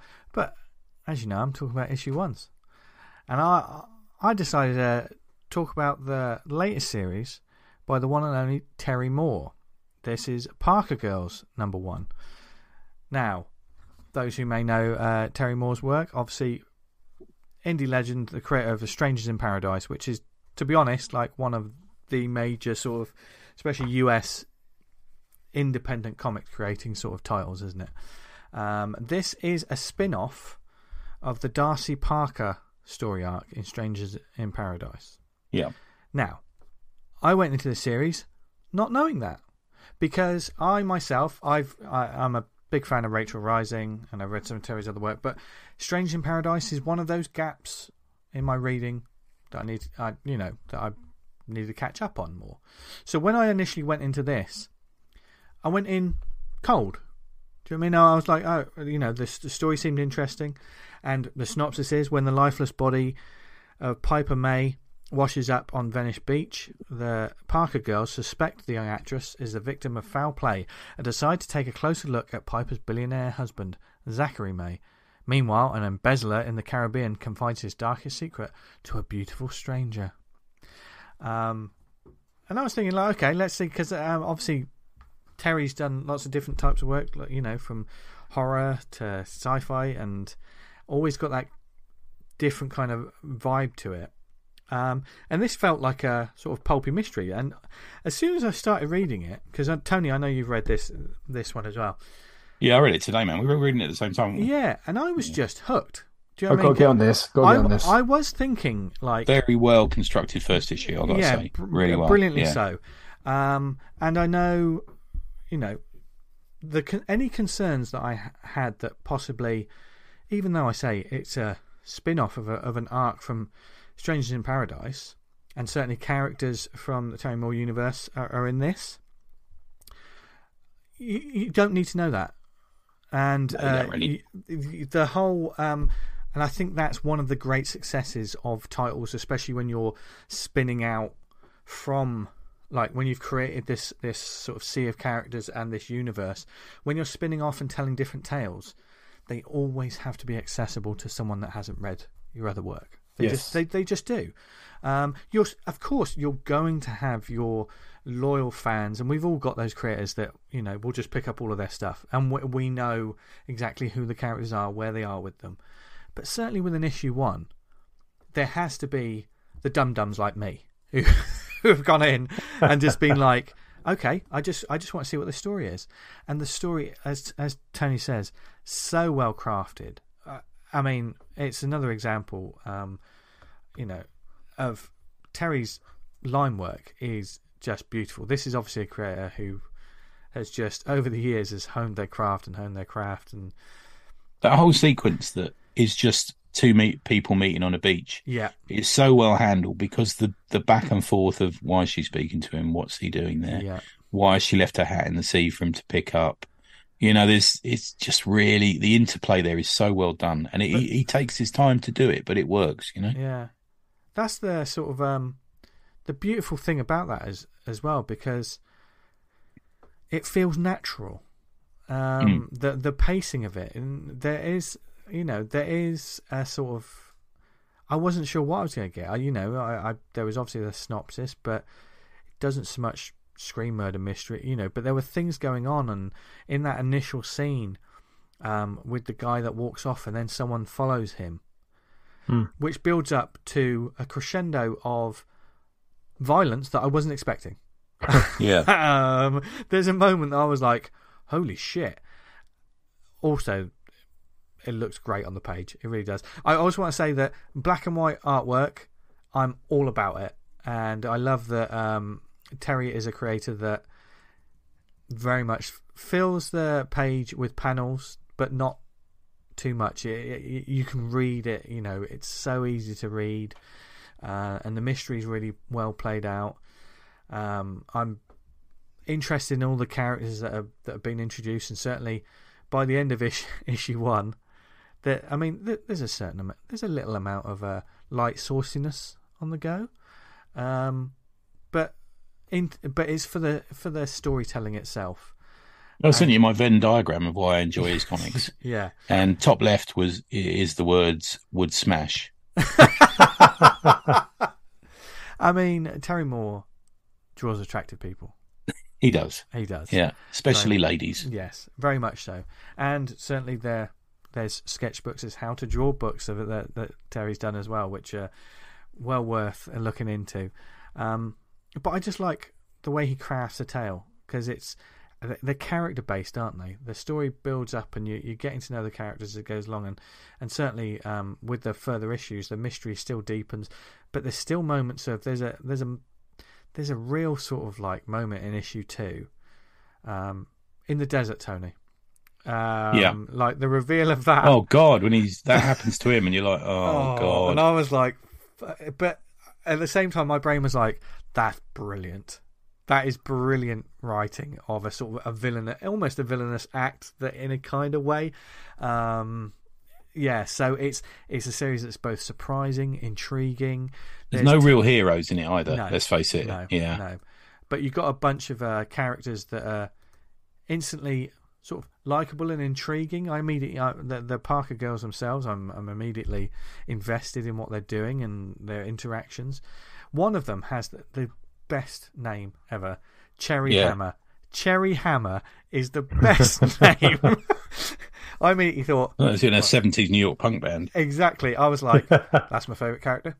Uh, um, but if you uh, seriously, if you haven't checked out, and uh, I mean, if you haven't checked out any of like Terry's work before, I mean, Rachel Rising, which is the first one I really sort of experienced, was another example of like, wow, I can just The thing about the Yeah. Rachel Rising is you got that series, which I think is his second longest series, isn't it? yeah, um, that's forty but then page, forty issues, I believe. issues, yeah. Then she appears elsewhere, Yeah, so there's other series that she appears in as well, which he does a lot now, which is Parker Girls is an evidence of that. Yeah. Um, in more in, in less and more Se- ways. Serial is a spin off from Rachel Rising. And Yep. And then t- um, what's the one with all of them in it? Oh, it'll come to me in a minute. But yeah, there, there, she's back in that one as well. Yeah. Yeah. Yeah. So, um, yeah, it's very interesting. Um, highly recommend it. There's lots of different. Um, there's ten issues of this, which are all ten are out now, I believe. Um, Right. So you can just there, there's a collected hardcover that that's on its Great way. covers for that series. My Yeah. favourite covers, I think, of all of his books is the Yeah. uh, the Parker Girls. Yeah, they it feels very sort of pulpy novel as well, doesn't it? Sort of Yeah, there's a there's a little Bond moment yeah, in the first yeah, one, isn't espe- there? Yeah. yeah, yeah, and there's certainly for a lot of the series, they're very sort of striking covers. Ladies Um, getting out the swimming pool. That's, I'm a big fan of those as covers. Oh yeah, classic. It is a classic, but um, yeah, so that's another issue one that you um, may want to check out, and you may want to check it out before our next episode. Yeah, no spoilers. Yes, That's all we're going to say for now. That's the most obvious thing ever. yeah. Yeah, yeah. So yeah, Terry's going to be talking with us on the next episode. you bet because we're interviewing him tomorrow. yeah. Yeah. So um, He is, and we edit this bit out. yeah. yeah, after the fact. So if you've listened to this on the first day, then well, well done. This is a limited edition. no, um, hugely excited to be um, talking to Terry about his work. So, it's, um, so we thought, yeah, let's let's recommend Parker Girls, his latest. But we're going to be talking about um, lots of different, lots of different subjects on next week's show. So plenty to look forward to, and uh, I'm looking forward to just reading the rest of this series. To be fair, to Yeah. me, I'm just- Fantastic. it's Yeah. just just great stuff. And lots of great stuff we've talked about on this week's episode. Lots of great comics for you to add to your um, wish lists and beyond. Um, we've got uh, we've been talking off air about um, future shows. We've got some interesting, uh, even more exciting stuff um, in the future. Yeah, well, literally, we went earlier. We mentioned three names and went, fucking hell. Yeah. yeah. didn't? Yeah. So, um, as well as like lots of topics and interesting um, topics of debate and you know comics process, we're always interested in all of that, and Hmm. we are also interested in what you want to hear us uh, talk about more on this show. Um, Yeah. There's several different ways you can get in touch with us to talk more about that. You can email us awesomecomicspod at gmail.com. Follow us on social media at the awesome pod. If you're part of the Slack community, hello. If not, get on it. Yeah, it's going all right. Um, good. Because You there's got a the wonder- uh, Dragon's Claws reading club going on. yeah. oh yes, Memes channel is on fire again today. Oh today. yeah, Yeah. love that. yep. It is a very open and embracing community. If you just, you Hmm. know, if you want some advice about making your comic, if you want some, you know, it's not it's not a place where you get lots of people hard selling stuff. It's people who just want to talk about comics and discuss them. We're all about discussion. Yeah, people with different opinions on there. Yeah, Yeah. they're open. Yeah. We're open to it, man. yeah. yeah, and recommendations. Certainly, yeah. yeah. people have Loads of little art pages like going Yeah. up, and Yeah, there's a discussion about um, Hondo City this week from uh, Mega City Book Club Yeah. about using sound effects as part of the sort of furniture in a in a book. That's really interesting. nice. I think James Knight and Eamon were talking about that. Yeah, good stuff. Ask for some Yeah. advice on the next cover to Vanguard in there. Oh, that's right. Yeah, that's Nice. good. Yeah. Yeah, yeah, yeah. yeah. Bit of feedback on that. I tell you what, if you want to check out what we've been talking about on the show, the comic book wise, can you go to acprecommends.com? Yeah. And it's got every book we've recommended uh, for several shows back, and it's run by our friend Craig Shields. Nice work, Craig. Craig, Thanks, you- mate. Craig, you're a legend. That's like Yes. Yeah, amazing. it's great. Yeah. Um, and also, like having to edit the show and stuff. I, I, I haven't got time to do all that. So the fact that you're you're one of you're Oh, it's one of the team now, my friend. So there you Yeah. Go. Did he Um, get to watch Hawk the Slayer during the week? Vince? I haven't. I haven't yet, but I Yeah. need to. I need to watch it. Uh, I got. a date- I bought that. I bought that on impulse during lockdown on Blu-ray. on Blu-ray. Yeah, Bloody I must have a look at that. Yeah, Man, that's like because some of the special effects in that are special. the silly I mean, string. I can't imagine yeah. that shows up well Yeah. under HD Yeah. HD TV. Yeah, Oh dear. Uh, But we, um, despite our Hawk the Slayer chat, and tune in next week to see if I've watched it or not. Um, we are very thankful to you listening to the show, and we hope you've enjoyed it and uh, made note of the comics that we're talking about. Um, and wherever you listen to us, whether it is uh, on the website awesomecomics.podbean.com, if you listen to us on Apple Podcasts, subscribe, like, leave a nice review, helps get the word out about the Mhm. show, the algorithms and all of that. I don't understand how it all works, but I know we're on other networks like Spotify, Amazon, Stitcher, Podnose, Podknife. What are the networks we on, Tony? We're on the pod, the Pod Network, brought to our brought to us by our buddies from Viz, called "Oh Lordy, it's the Fat Slags," and the uh, particular panel that says uh, the two fat slags are at the counter, they haven't got any money, and the, the shopkeeper says eleven fifty, or I'm calling the police, and one of them says to him, "Hairy check," and he goes, "Okay, go on then." Oh God. Going to pop it on the gash card. Oh a hairy check. Jesus Yeah. Christ, guys, we were doing so well. No, We we weren't weren't. We never know. We never. No, We never do. We that always- always always ends in the fat slag yes. strip. It usually ends up like that. Oh yeah, one's getting boned by the bloke in the shop, and the other one's taking their Yeah. clothes off, ready to have a go. Yeah. Highbrow entertainment. I said it at the front. I'm going to say it at the, at the back. Ah. Watch yourselves. What? Um, this show, absolutely lacking. yeah, highbrow entertainment. If you know where we can find any, So you let us know. please, please let us know. de- desperate to incorporate it on this podcast. Uh, we are junk food. We need some sort of nutritional value. No, no, seriously. Hmm. We um, obviously it's it's always a joy talking to these these two Yes. every week. We're waiting for our invite onto QI, you know, but otherwise, Oh God, I can't, I can't even spell QI. I just did. Yeah. Um, I used to have sexual fantasies about Sandi Toksvig, but that all ended. Don't. where can people find us online, etc. Tony? Uh, neverownanything.com. I'm doing a sort of tops and bottoms. Tops of the Long Box Mountain, bottoms of the Long Box Mountain Ah, every week okay. now. Every Wednesday it should be coming out. So well, it has for the last three. You could call go. that mining and mountaineering, Yeah, I like that. Might do that one this week. Yeah. or something similar. Dan, where can they find you? You can find me. Uh, Find me. Why do I say it like that? Find me. You can find me online. You can read Vanguard at vanguardcomic.com and I'm on Twitter and Instagram. Find me there. I didn't tell my Russell Brand joke, so uh, about that. So. Yeah, which, is- good. It's completely non-offensive joke, so don't get worked up about that. I've got to say it now to clear the air, haven't I? Otherwise, it's. it's uh, I He's went having see a Bat- conversation on his own at the moment. Yeah, Have you I went to see, uh, I'm just going to sit back and do it. I went to see Batman '89 on Saturday, and uh, it's like watching on screen there with the, like the cartoonish villain laughing and cackling away at his his crimes. Uh, but enough about Russell Brand on Dispatches. that, that's the joke. it was I've not seen that dispatches yet. No, me neither. but I tell you what, Batman '89, it's, it kind of feels like a really small film seeing it in the cinema Really? because it's all, Right. it's all it's all on sets, isn't it?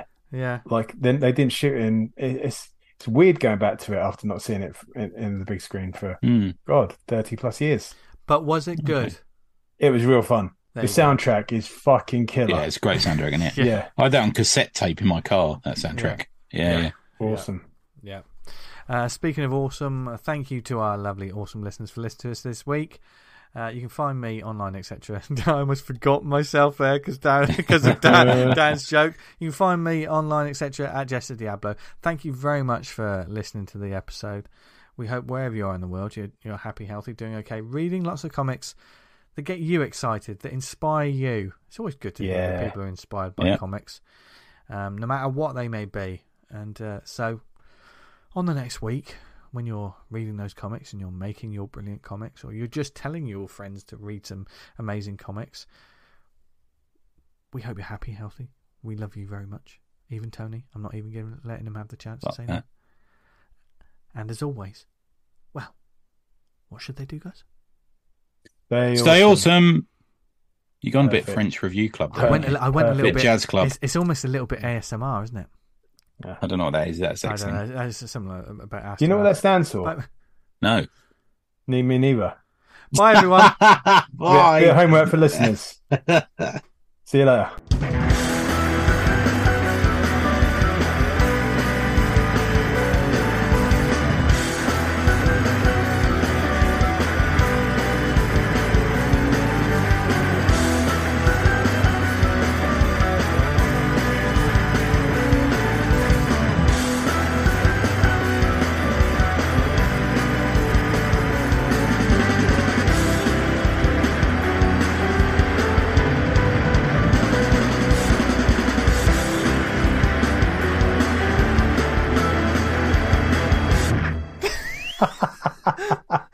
He's having a conversation on his own all show. Yeah.